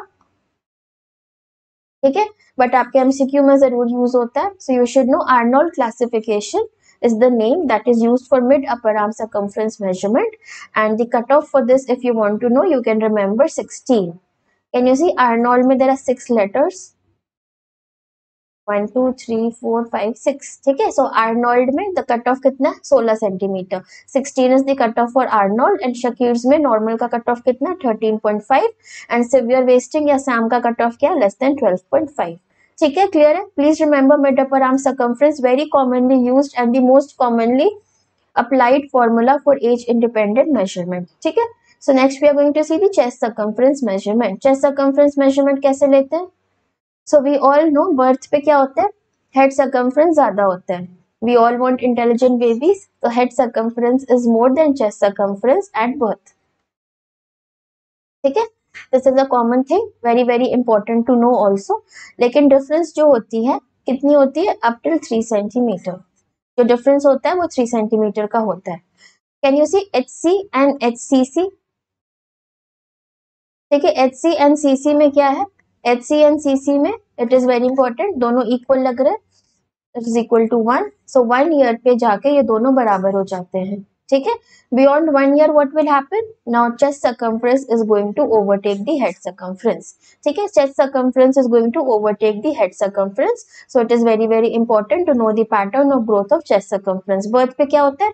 Head circumference is going to be more than the chest circumference by three centimetre in one year it is going to be equal. And beyond one year what will happen? Chest circumference will overtake the head circumference. And so it is going to be increased. Okay? So what is Gomez classification is being asked. So these are all classification that is used to assess the malnutrition status ठीक है? Malnutrition status या SAM के classification में आते हैं।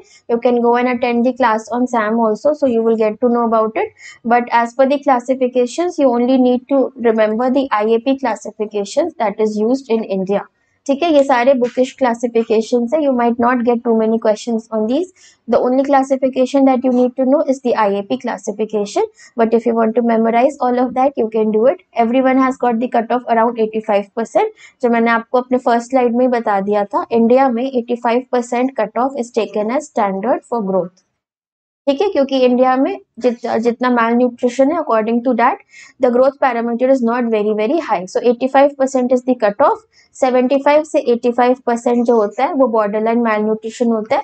Less than 75 percent होता है that is severe acute malnutrition ठीक है so this you can apply for the MCQs but if you need to know the names you can remember if you have to learn something then only read the IAP classification which is used in Indian population ठीक है? So, next we are going to see about upper segment is to lower segment ratio. Upper segment is to lower segment पे question भी था। सबको बहुत ही confusion भी हुआ था कि क्या होता है बर्थ पे कितना है, कब इक्वल होता है।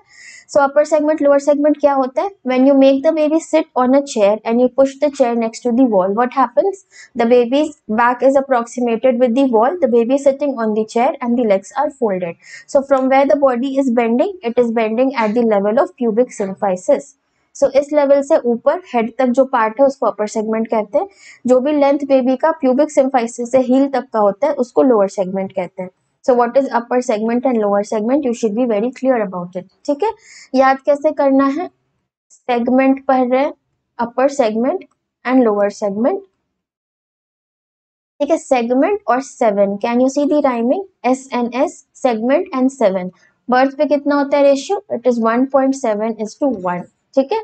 Segment and seven so it is one point seven is to one ठीक है? क्लियर है? बर्थ पे पूछ सकते हैं आपसे। They can ask you at ten years and they can ask you the adult one so all these three values are very important intermediately you can be asked to assess in between also so you should know six months one year two year three year four year seven years and ten years very simple 1.7 is to 1 birth पे था 0.1 0.1 you have to subtract 6 months पे कितना है 1.6 is to 1 वैसे भी देख सकते हो 6 के साथ 6 आ रहा है 1 year पे कितना है 1.5 is to 1 2 year पे कितना है 1.4 is to 1 एंड 2 years पे देख लो 2 into 2 कितना होता है 4 3 years पे कितना है 1.3 is to 1 3 is equal to 3 four years पे कितना है? 1.2 is equal to 1 so 1 4 and 2 are related anyways, you know that. So 7 years पे क्या हो रहा है? 1.1 is to 1 ultimately 10 years पे आके क्या होता है? The ratio becomes 1 is to 1 common sense भी लगाओगे तो you can imagine 10 year old बच्चा कितना बड़ा होता है? सो 10 इयर्स पे एटलीस्ट अपर सेगमेंट और लोअर सेगमेंट थोड़ी बहुत बराबर हो जाती है because the height is attained by them ठीक है? सो टेन ईयर्स पे जाके अपर सेगमेंट और लोअर सेगमेंट इक्वल हो जाती है because the baby start to attain a good amount of height and beyond ten years adolescent में क्या होता है?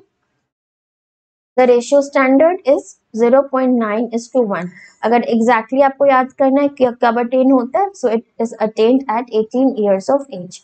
So, can you see 9 is related to 18 so, very simple maths. 9 is related to 18 2 is related to 4 तो ये cross check कर सकते हो आप कि मैं सही कैलकुलेट कर रहा हूँ या नहीं कर रहा हूँ। सो स्टार्ट कैसे करना है? बर्थ पे one is to seven point seven is to one ठीक है? One point seven is to one segment and seven can you see the rhyming segment and seven so that is how simply you can rhyme it and remember one point seven is to one is the level that is present at birth six months पे कितना होता है? Point one minus कर दो, one point six is to one. One year पे one point five is to one. Two years पे one point four is to one. Three years पे one point three is to one. Four years पे one point two is to one. Seven years पे one point one is to one. और ten years पे जाके it becomes equal as one is to one और 18 years पे कितना हो जाता है? Point nine is two one. वैसे भी 18 and 9 are related so that is how you can check your table anyhow if you got confused ठीक है क्वेश्चन बेसिकली बर्थ पे आते हैं टेन ईयर्स पे आते हैं एटीन ईयर्स पे एडोलेसेंट एज ग्रुप में आते हैं। So you should at least remember these three values birth पे 1.7 is two one ten years पे one is two one and eighteen years पे point nine is two one clear है? Any doubts please ask if it's clear then we can move ahead सब समझ में आ रहा है तो please leave a thumbs up कुछ डाउट है then you can ask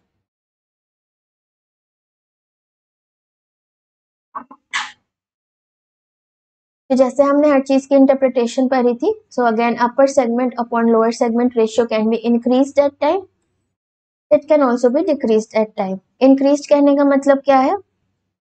increase कब होगा? अगर लोअर सेगमेंट छोटा हो जाएगा, ठीक है?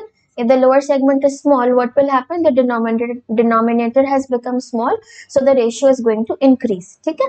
सो so, इंक्रीज कब होता है? जब बच्चों के हाथ पैर छोटे हो जाते हैं। कब छोटे होते हैं? हाइपोथायरॉयडिज्म में। What do we read in hypothyroidism short chubby hands and feet पढ़ा होगा आपने? Short chubby hands and feet so that is seen in hypothyroidism achondroplasia में तो लिम्स छोटे होते ही हैं। So achondroplasia again is an example of this Turner syndrome में again the height is very very small because the child has short stature so in cases में क्या होता है? Because of smaller hands and feet the lower segment का component small हो जाता है. So as the ratio what happens upper segment is to lower segment is going to increase so you should know the differential very well of increase upper segment upon lower segment अब decrease कब होगा? जब lower segment बहुत बड़ा हो जाएगा तो क्या होगा? Ratio will fall because denominated बहुत बड़ा हो गया. सो रेशियो कब फॉल होगा? जब बहुत ही लंबे हाथ और पैर, हाथ और पैर होंगे which is classically seen in Marfan syndrome ठीक है? मार्फन सिंड्रोम में क्या होता है? The limbs are abnormally large so Marfan syndrome is a classical example of your decreased upper segment is to lower segment ratio. ठीक है? So you can apply your ratio calculation in your mind and then you can choose the right option that is asked in the exam. ठीक है? So upper segment lower segment हो गया. अब देखते हैं arm span क्या होता है? So, arm span is very very simple. It is only the distance between the tips of the middle finger of both the arms when you outstretch your hands approximately at right angles to the body.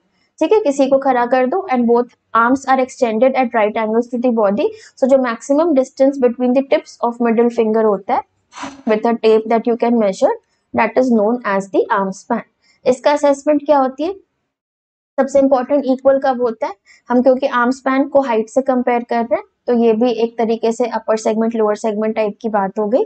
सो ये भी ten years of age पे arm span becomes equal to the height ठीक है? उससे पहले क्या होता है? उससे पहले लेस देन फाइव ईयर्स में arm span is less than the height and after twelve years what happens जब ग्रोथ स्पर्ट आती है तो हैंड्स और लिम्स ज़्यादा ग्रो करते हैं, है ना?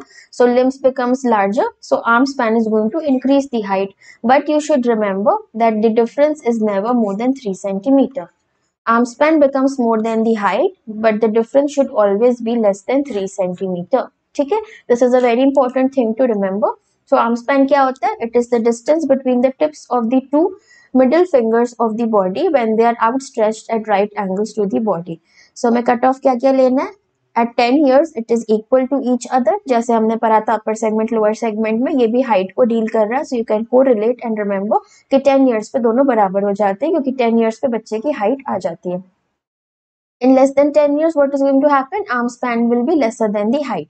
And beyond 10 years to 12 years, what will happen? Arm span will start increasing because the limbs of the child starts to grow. So arm span will be more than the height, but the difference should not be more than 3 centimeter. It is always less than 3 centimeter. ठीक है? Clear है यहाँ तक? Now see the assessment अब arm span height से कब बड़ी होगी?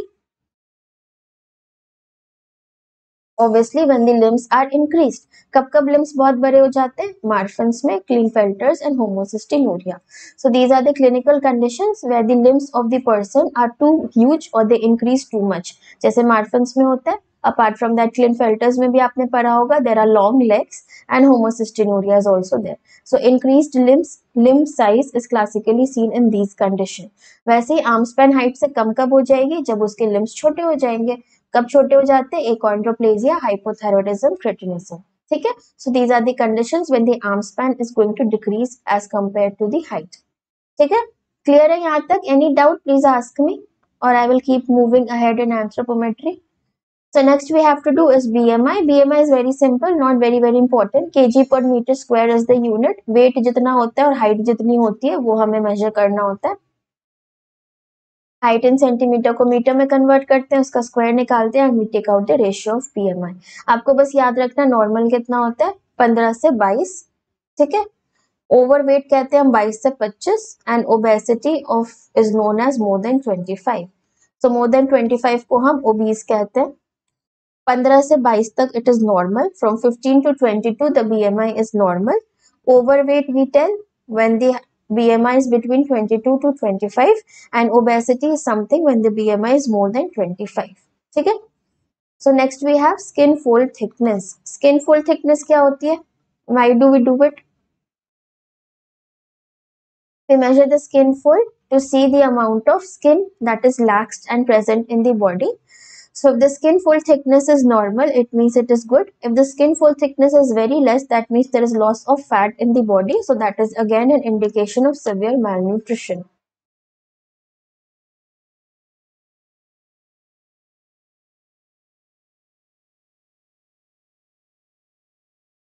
Okay, so skin fold thickness is very very important to be known. So about BMI, so the formula that we have used that is kg per meter squared. By this you can calculate the BMI which is going to approximate with the person's height and weight only. So yes, in children and adolescent, this is the cutoff that I'm using. In adults, it is different. This is what is to be remembered from pediatrics because I'm teaching pediatrics.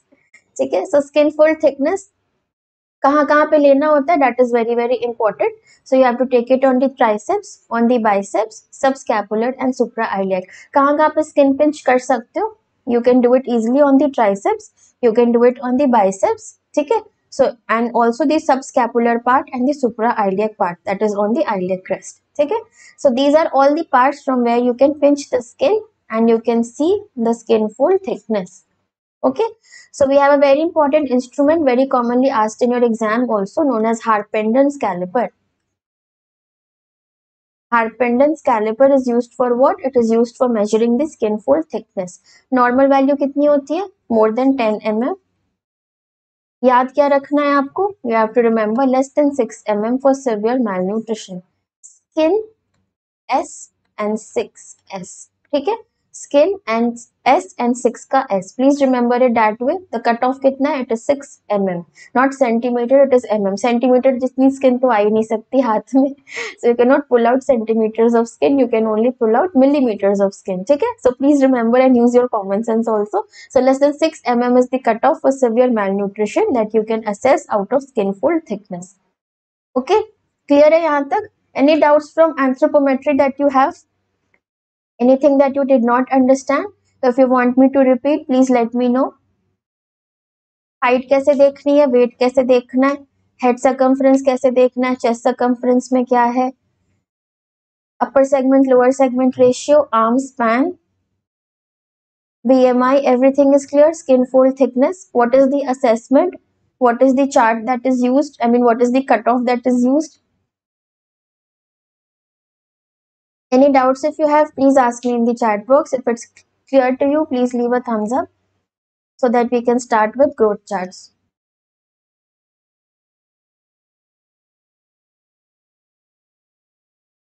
Okay, okay, any doubts, please start putting it or you can ask in the end also. So coming to growth charts. So why do we do a growth charting? Why is it important? So charting the growth of a child is very important to assess the pattern of growth. ठीक है?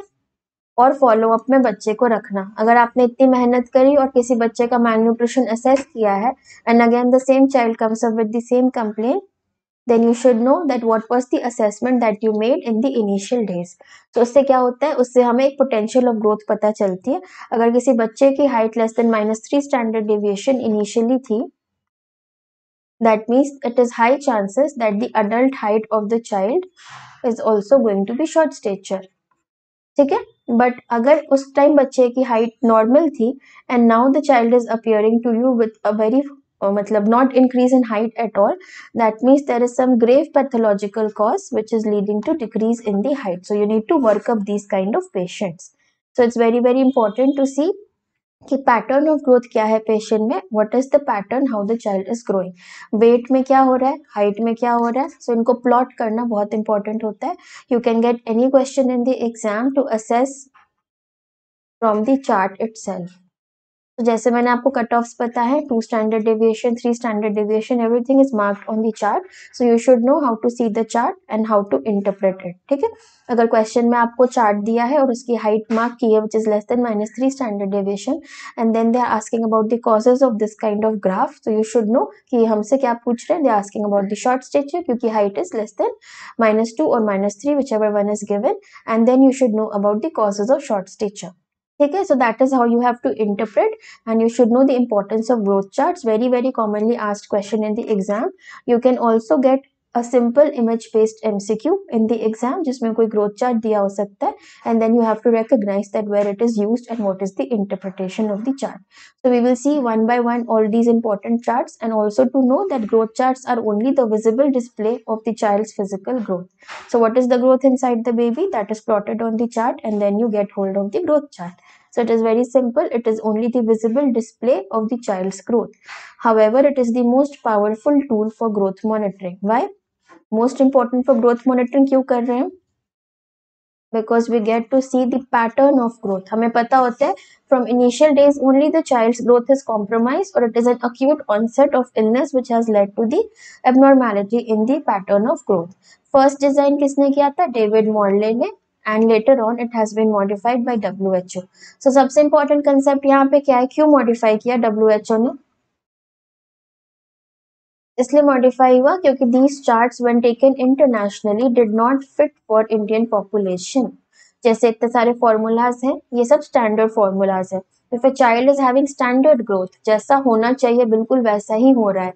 Then you can apply these formulas to see कि exact height कितनी होगी exact weight कितनी होगी।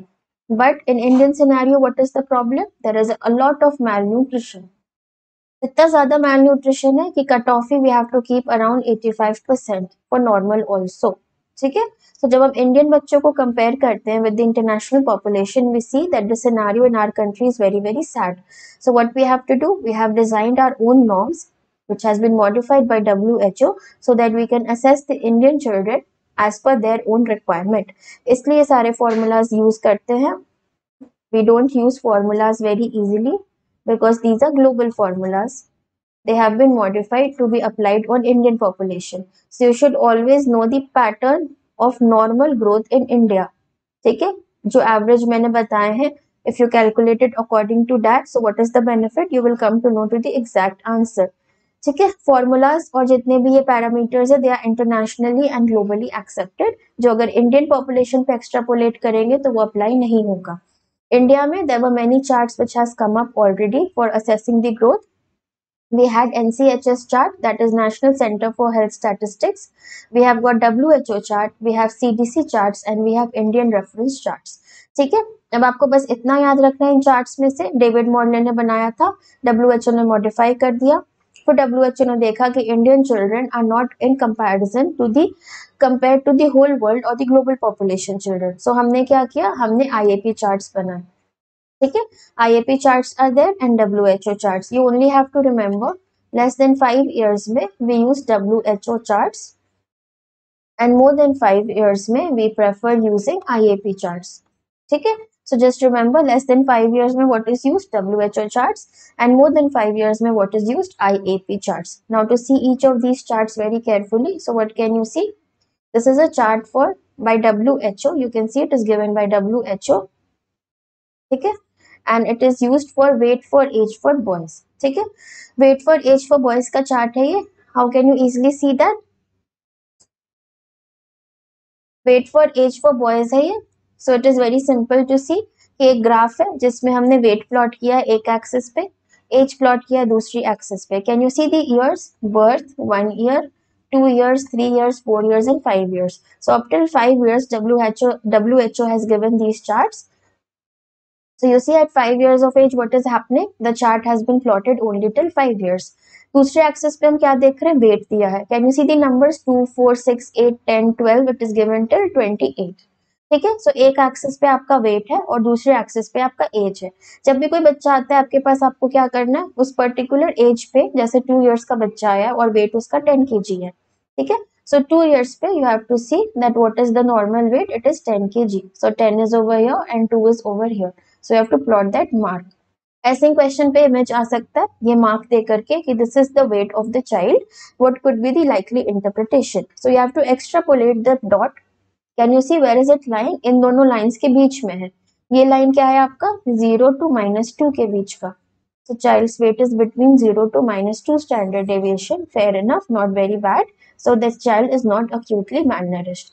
अगर ये pointer आपका यहाँ पे आता, ये कहाँ लाई कर रहा है? Less than minus three standard deviation इसके ऊपर कौन सी लाइन है? Can you see this line going ये कहाँ जाके मिल रहा है? माइनस थ्री के ऊपर।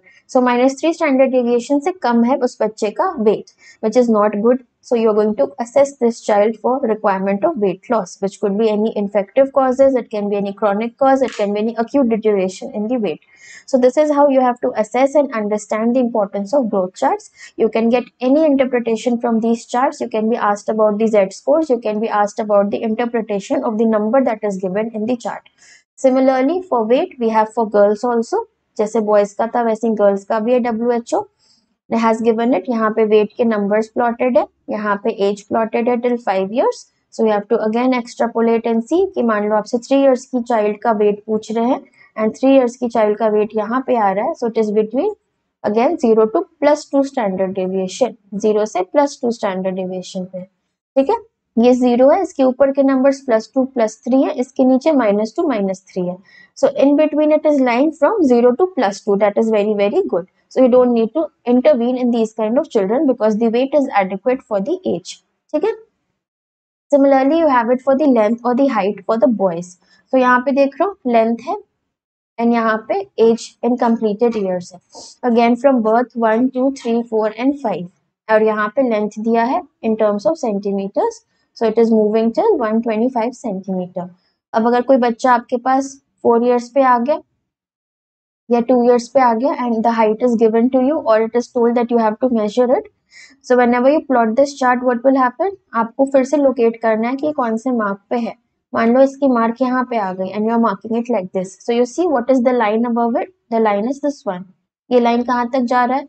It is going to minus three standard deviation so इस बच्चे की हाइट अपने एज के हिसाब से it is following less than minus three standard deviation इसका क्या मतलब था? It is severe short stature as I told you short stature क्या होता है? Less than minus two standard deviation and severe short stature क्या होता है? Less than minus three standard deviation ठीक है? So severe short stature you immediately need to workup for the child तो हमें इमीडिएट वर्कअप कराना है इस केस का.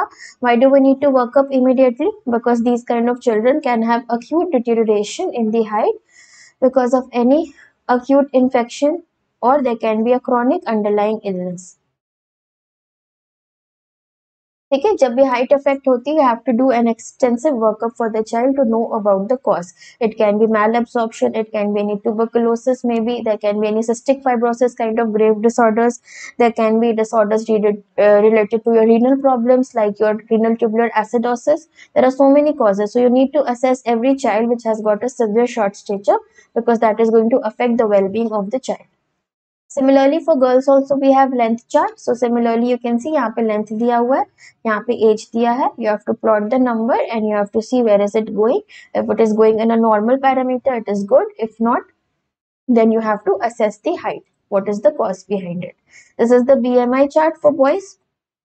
So this is the BMI in kg per meter square and this is the age in completed years. So you can see जितना age है और कितना बी एम आई है, कौन से स्टैंडर्ड डेविएशन पे आ रहा है, यहाँ पे ज़ीरो है minus one minus two minus three यहाँ plus one two and three is given so in this again you can assess simply the B M I of the child so that you know that where is the child line and accordingly you can assess the requirement of child treatment अगर B M I बहुत high है, इसका मतलब that is hyperactive and if the B M I is too low that means you need to assess the child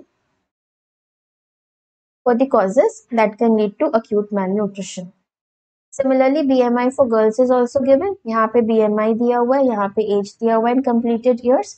So you can again see कि कौन से standard deviation पे lie हो रहा है और in terms of centile also whether it is third centile, 50th centile, 97th centile, ठीक है?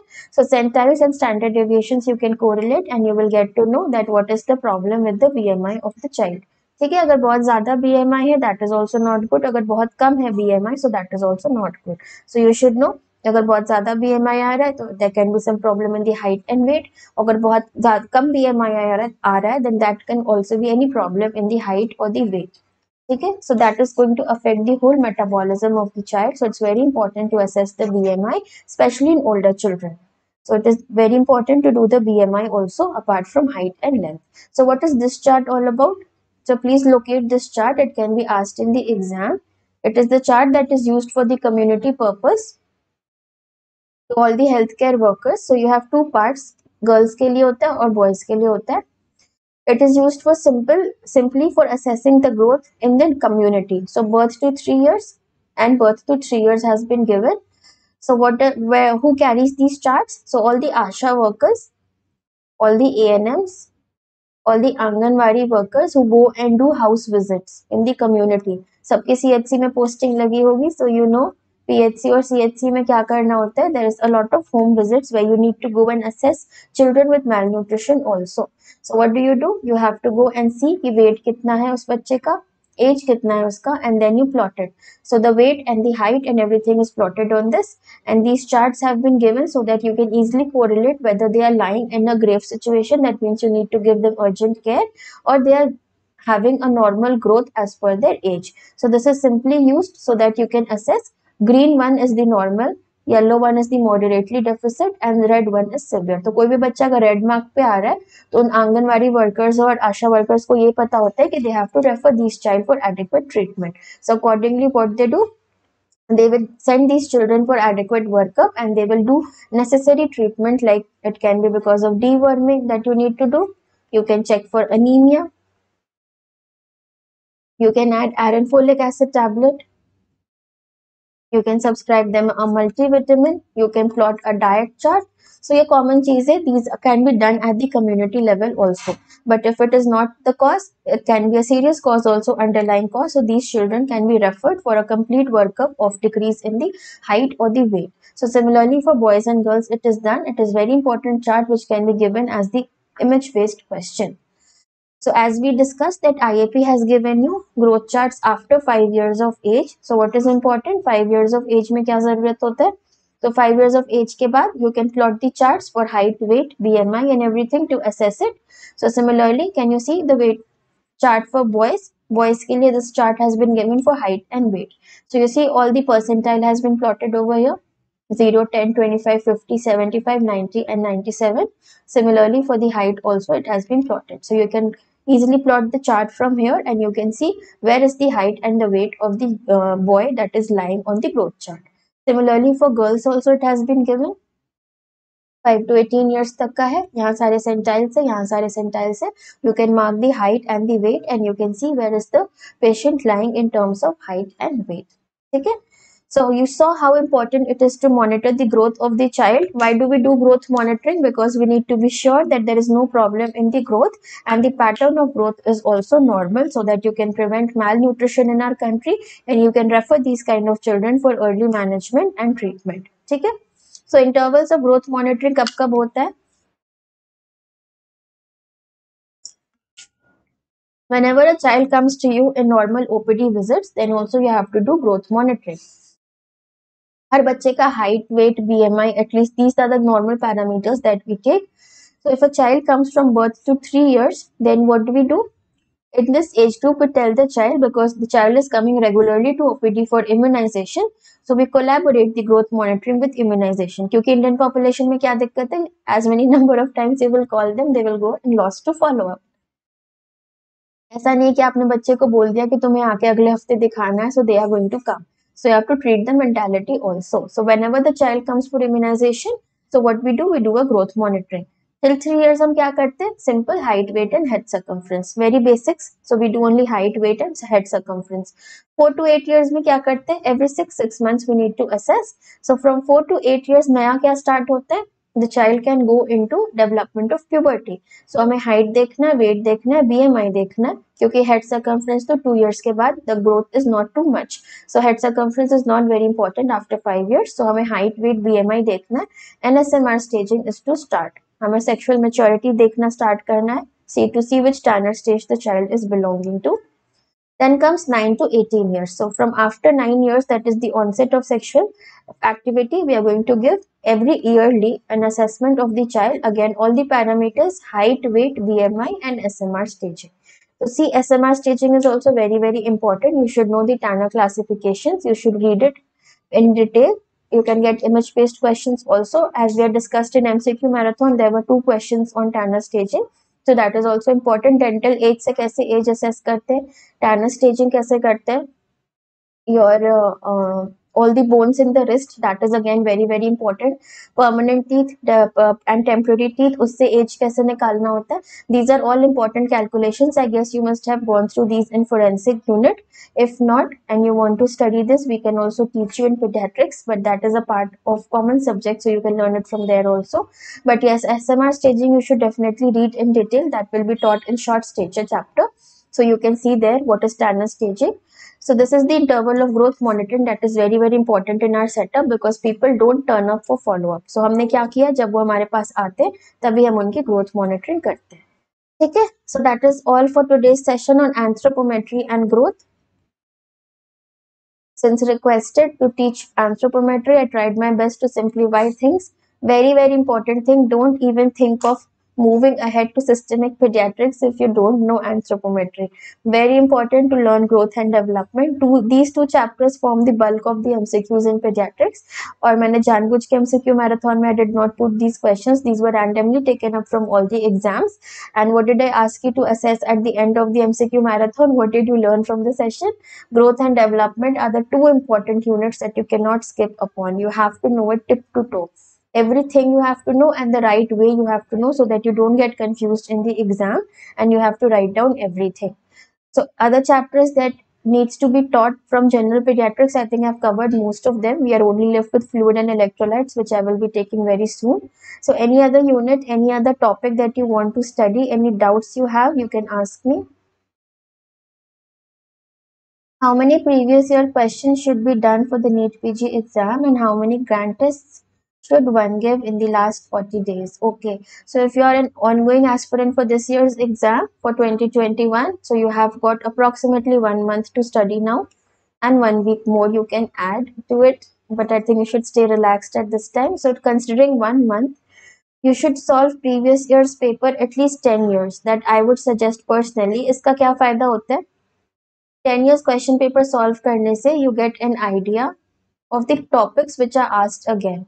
अगर आपसे कोई बोले कि पूरा पेडियाट्रिक्स पढ़ लो अपने एग्ज़ाम में टॉप करने के लिए would you be able to study it would you be able to open your Nelson twenty first edition and complete it before your exam we have also not been able to complete it in our three years of presidency so that is not possible to memorise everything and every topic from the textbook ठीक है? So what you have to do you should know what are the areas from where question are been created so what happen supposedly अगर आपने एक sequence follow किया होगा किसी भी exam का if you see AIIMS papers which I solve personally from my interest also अगर आप एम्स के क्वेश्चंस देखोगे what they do so in your INI CET exam also if you have attempted you might might have done the previous year's paper so what they do suppose they have asked you a question on ABG okay they have given you calculation this year So they have a fixed format कि these are the areas from where questions and topics need to be asked. So next time क्या करेंगे? आपको एक picture दे देंगे clinical जिसमें patient को मान लो metabolic acidosis ठीक है?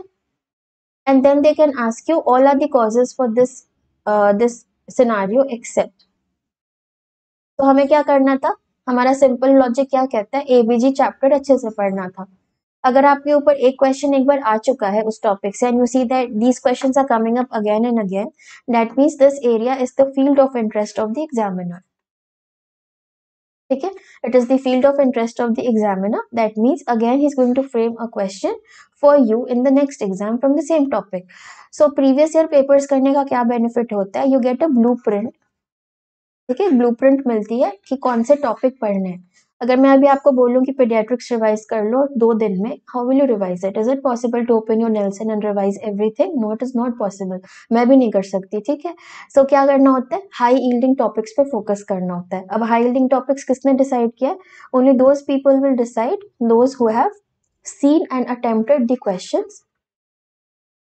for so many years so they know कि कौन से टॉपिक्स है जिससे क्वेश्चन आना ही आना है जैसे मैं बार बार अपने लेक्चर में बोलती हूँ please learn growth and development properly so मुझे पता है कि ग्रोथ एंड डेवलपमेंट एक ऐसा एरिया है जिसपे आपको टेस्ट करेंगे ही करेंगे if you don't know growth and development and paediatrics there is no point studying too much in detail about systemic pediatrics and neurology pediatrics and neurodevelopmental disorder and cardiology and everything so it is very important to learn basics first अभी मैंने आपसे क्या कहा था, एक simple सा question आ सकता है what is a preschool child अब आपने इतना कंसेप्ट पढ़ लिया, सब कुछ पढ़ लिया you know cardiology neuro developmental disorder inborn errors of metabolism renal tubular acidosis everything is clear and you don't know what is a preschool child ठीक है? So this creates a lot of problem inside your mental peace also, that such a simple question went off unanswered because you could not recall it. तो क्यों ऐसा हुआ? क्योंकि आपने कुछ basic areas थे you skipped revising those things concentrating more on fancy things में भी सो दो टाइप के क्वेश्चन और हाई ईल्डिंग टॉपिक्स बहुत इंपॉर्टेंट होते हैं। एक तो वो होते हैं जिनसे हर साल क्वेश्चन आता है। That means you can not go in the examination hall without reading these question and topics जैसे पीडियाट्रिक्स में ग्रोथ एंड डेवलपमेंट है। ठीक है? इसके बिना तो you should not go also for the exam and if you have not read it at least listen to my lecture so that you can revise it in the end minute ठीक है? दूसरे question होते हैं जो आपके concept और आपके thinking पे बेस्ड होते हैं जैसे मैंने आपका कंसेप्ट बेस्ड एमसीक्यू मैराथन लिया था सो उसमें कैसे क्वेश्चंस थे they were huge you need to spend time in reading the question you need to spend time understanding but if you know it and you have read it there's a one second time it takes to answer these kind of questions हो सकता है आपको preschool का age group याद करने में दो minute लग जाए यू ट्राई टू कोरिलेट कि क्या याद किया था, क्या नहीं था, कहाँ पर आता। इतने में तो शायद ये वाला एज होता है, पूरा टेबल लिख लो ग्रोथ का पूरा टेबल बना लो। तो you have to see the time that is taken in each kind of question इसलिए मैं हमेशा कॉन्ट्रास्ट में बताती हूँ। वन लाइनर्स अलग सेट ऑफ़ क्वेश्चन है। कंसेप्ट बेस्ड एमसीक्यूज अलग सेट ऑफ़ क्वेश्चन है। That is why organise both kind of marathon so that you see for yourself कि आपका नॉलेज कहाँ पे है।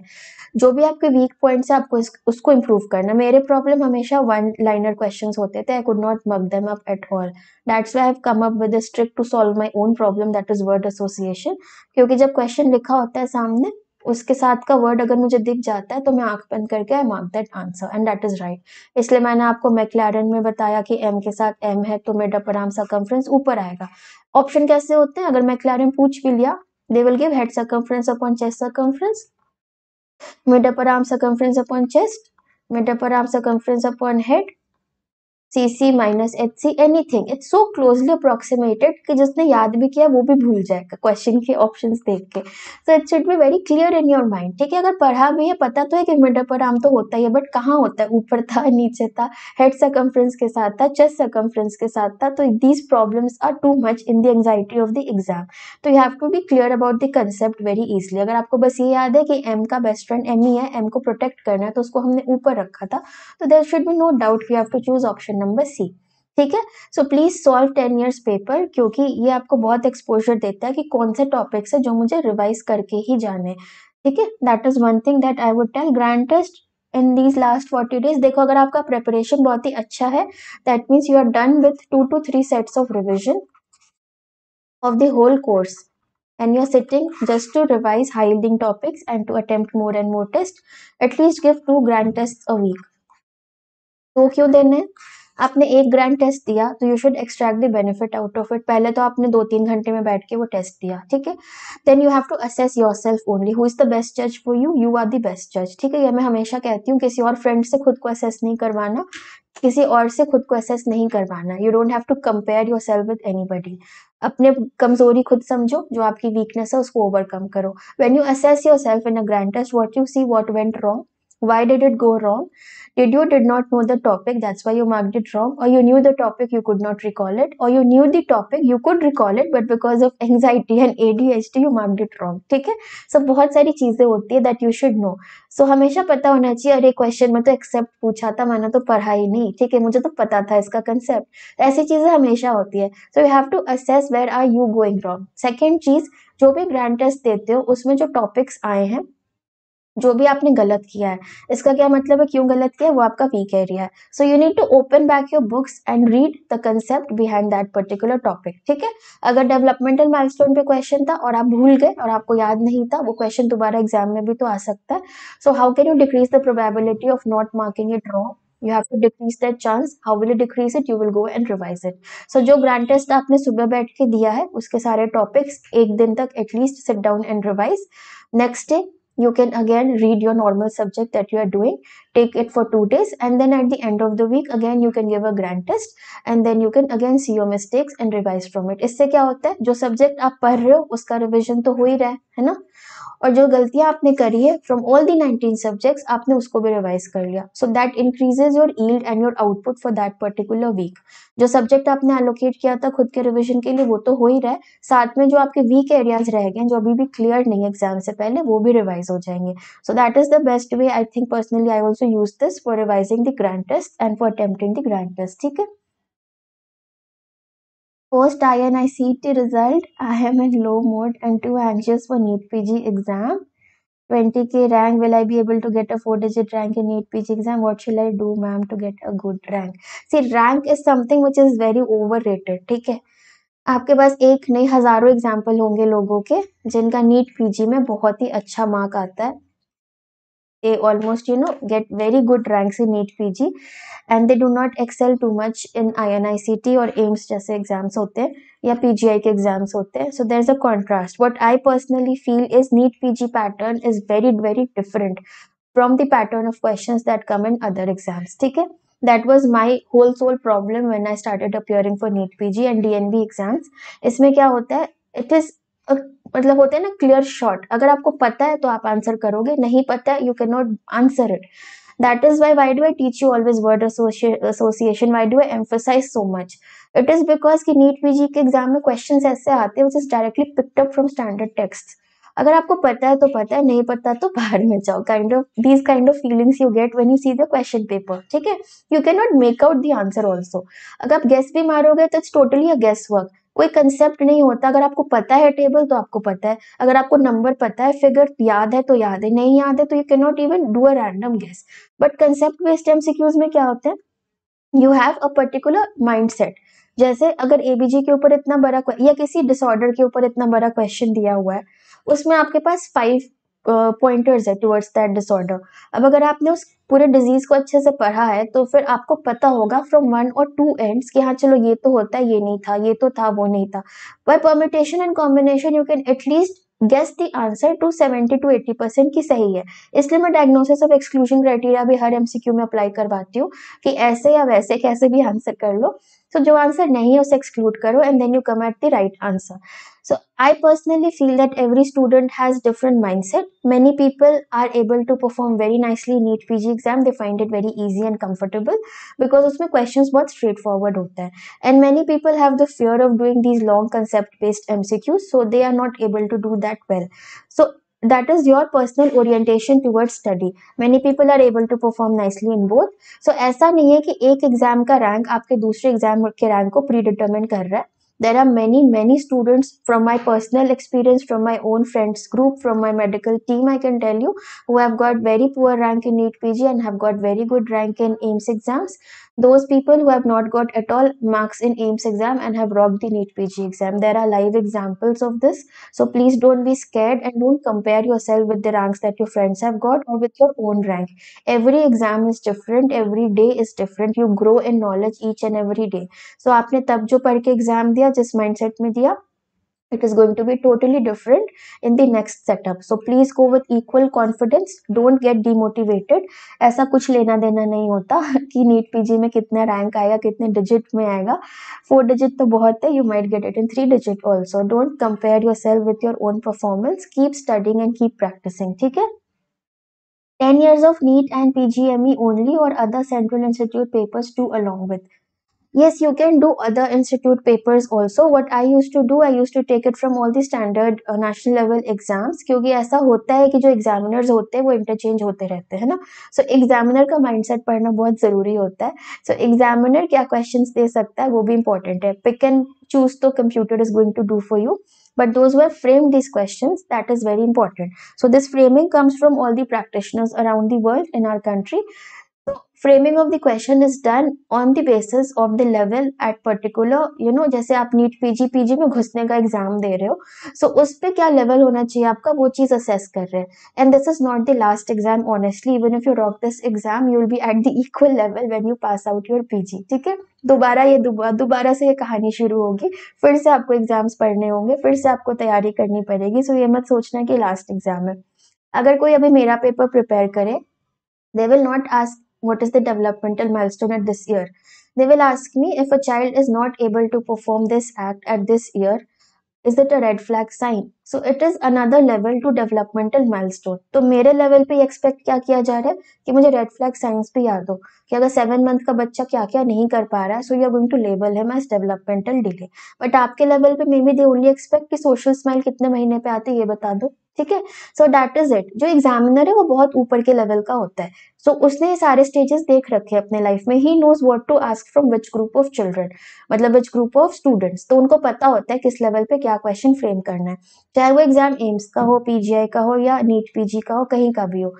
So the examiners keep rotating and the formation of question is same as per the level that needs to be assessed हाँ ऐसा लगता है कि शायद कंसेप्ट बेस्ड क्वेश्चन थोड़े डिफ़िकल्ट होते हैं बट देखो सबका लेवल एक नहीं होता। कुछ लोगों को टॉप करना है, कुछ लोगों को क्वालिफाई करना है, कुछ लोगों को बस रैंक चाहिए कि एडमिशन मिल जाए। So there are ten fifteen question like that which is above the level also जो आप अटेम्प्ट भी कर सकते हो, क्या पता आपने भी सही कर लिया वो क्वेश्चन सो वो थोड़े से क्वेश्चन होते हैं बट जो ninety percent of the question होते हैं they are made at the same level for every student so it is important that you get your self expose to all the institute papers so that you get to know what are the different kind of question that can be asked from this topic जैसे मैंने आपको ABG का example बताया you can get a simple calculation you can get a question on the causes of respiratory metabolic acidosis alkalosis you can get a clinical scenario diabetic ketoacidosis का patient है पूरा clinical symptom describe कर दिया and then they ask you what is the most expected finding in ABG and they give you permutation combination of pH, CO2, bicarb and everything. So आपको पता होना चाहिए DK में severe metabolic acidosis होती है क्योंकि हमने high anion gap की निमोनिक में मड पाइल्स पढ़ा था, जिसमें diabetic ketoacidosis was one of the differential so if you simply know this thing you can easily apply it on the MCQ कितना घुमा के पूछा है उन्होंने? पहले एसिडोसिस का पूरा डायबिटीज़ का क्लिनिकल सिनारियो दिया, फिर उन्होंने आपसे क्वेश्चन फ्रेम किया.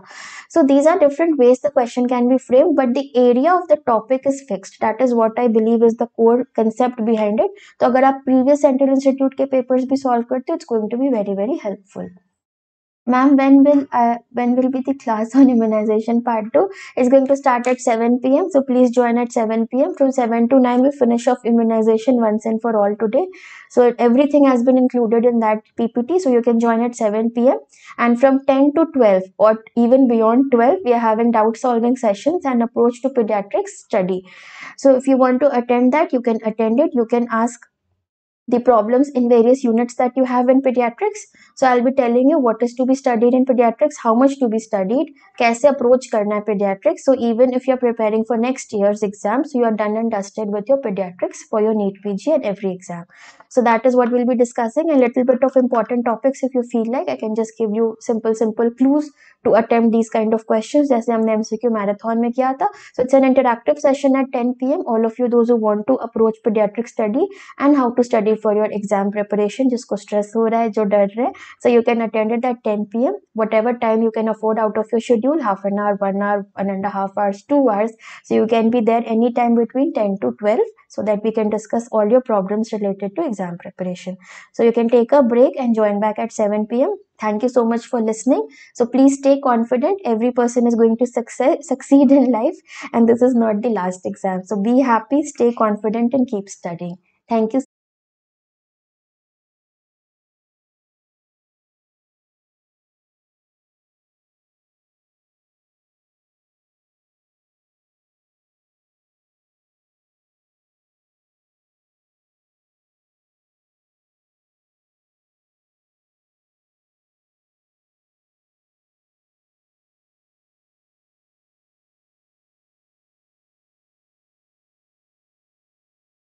अबे यार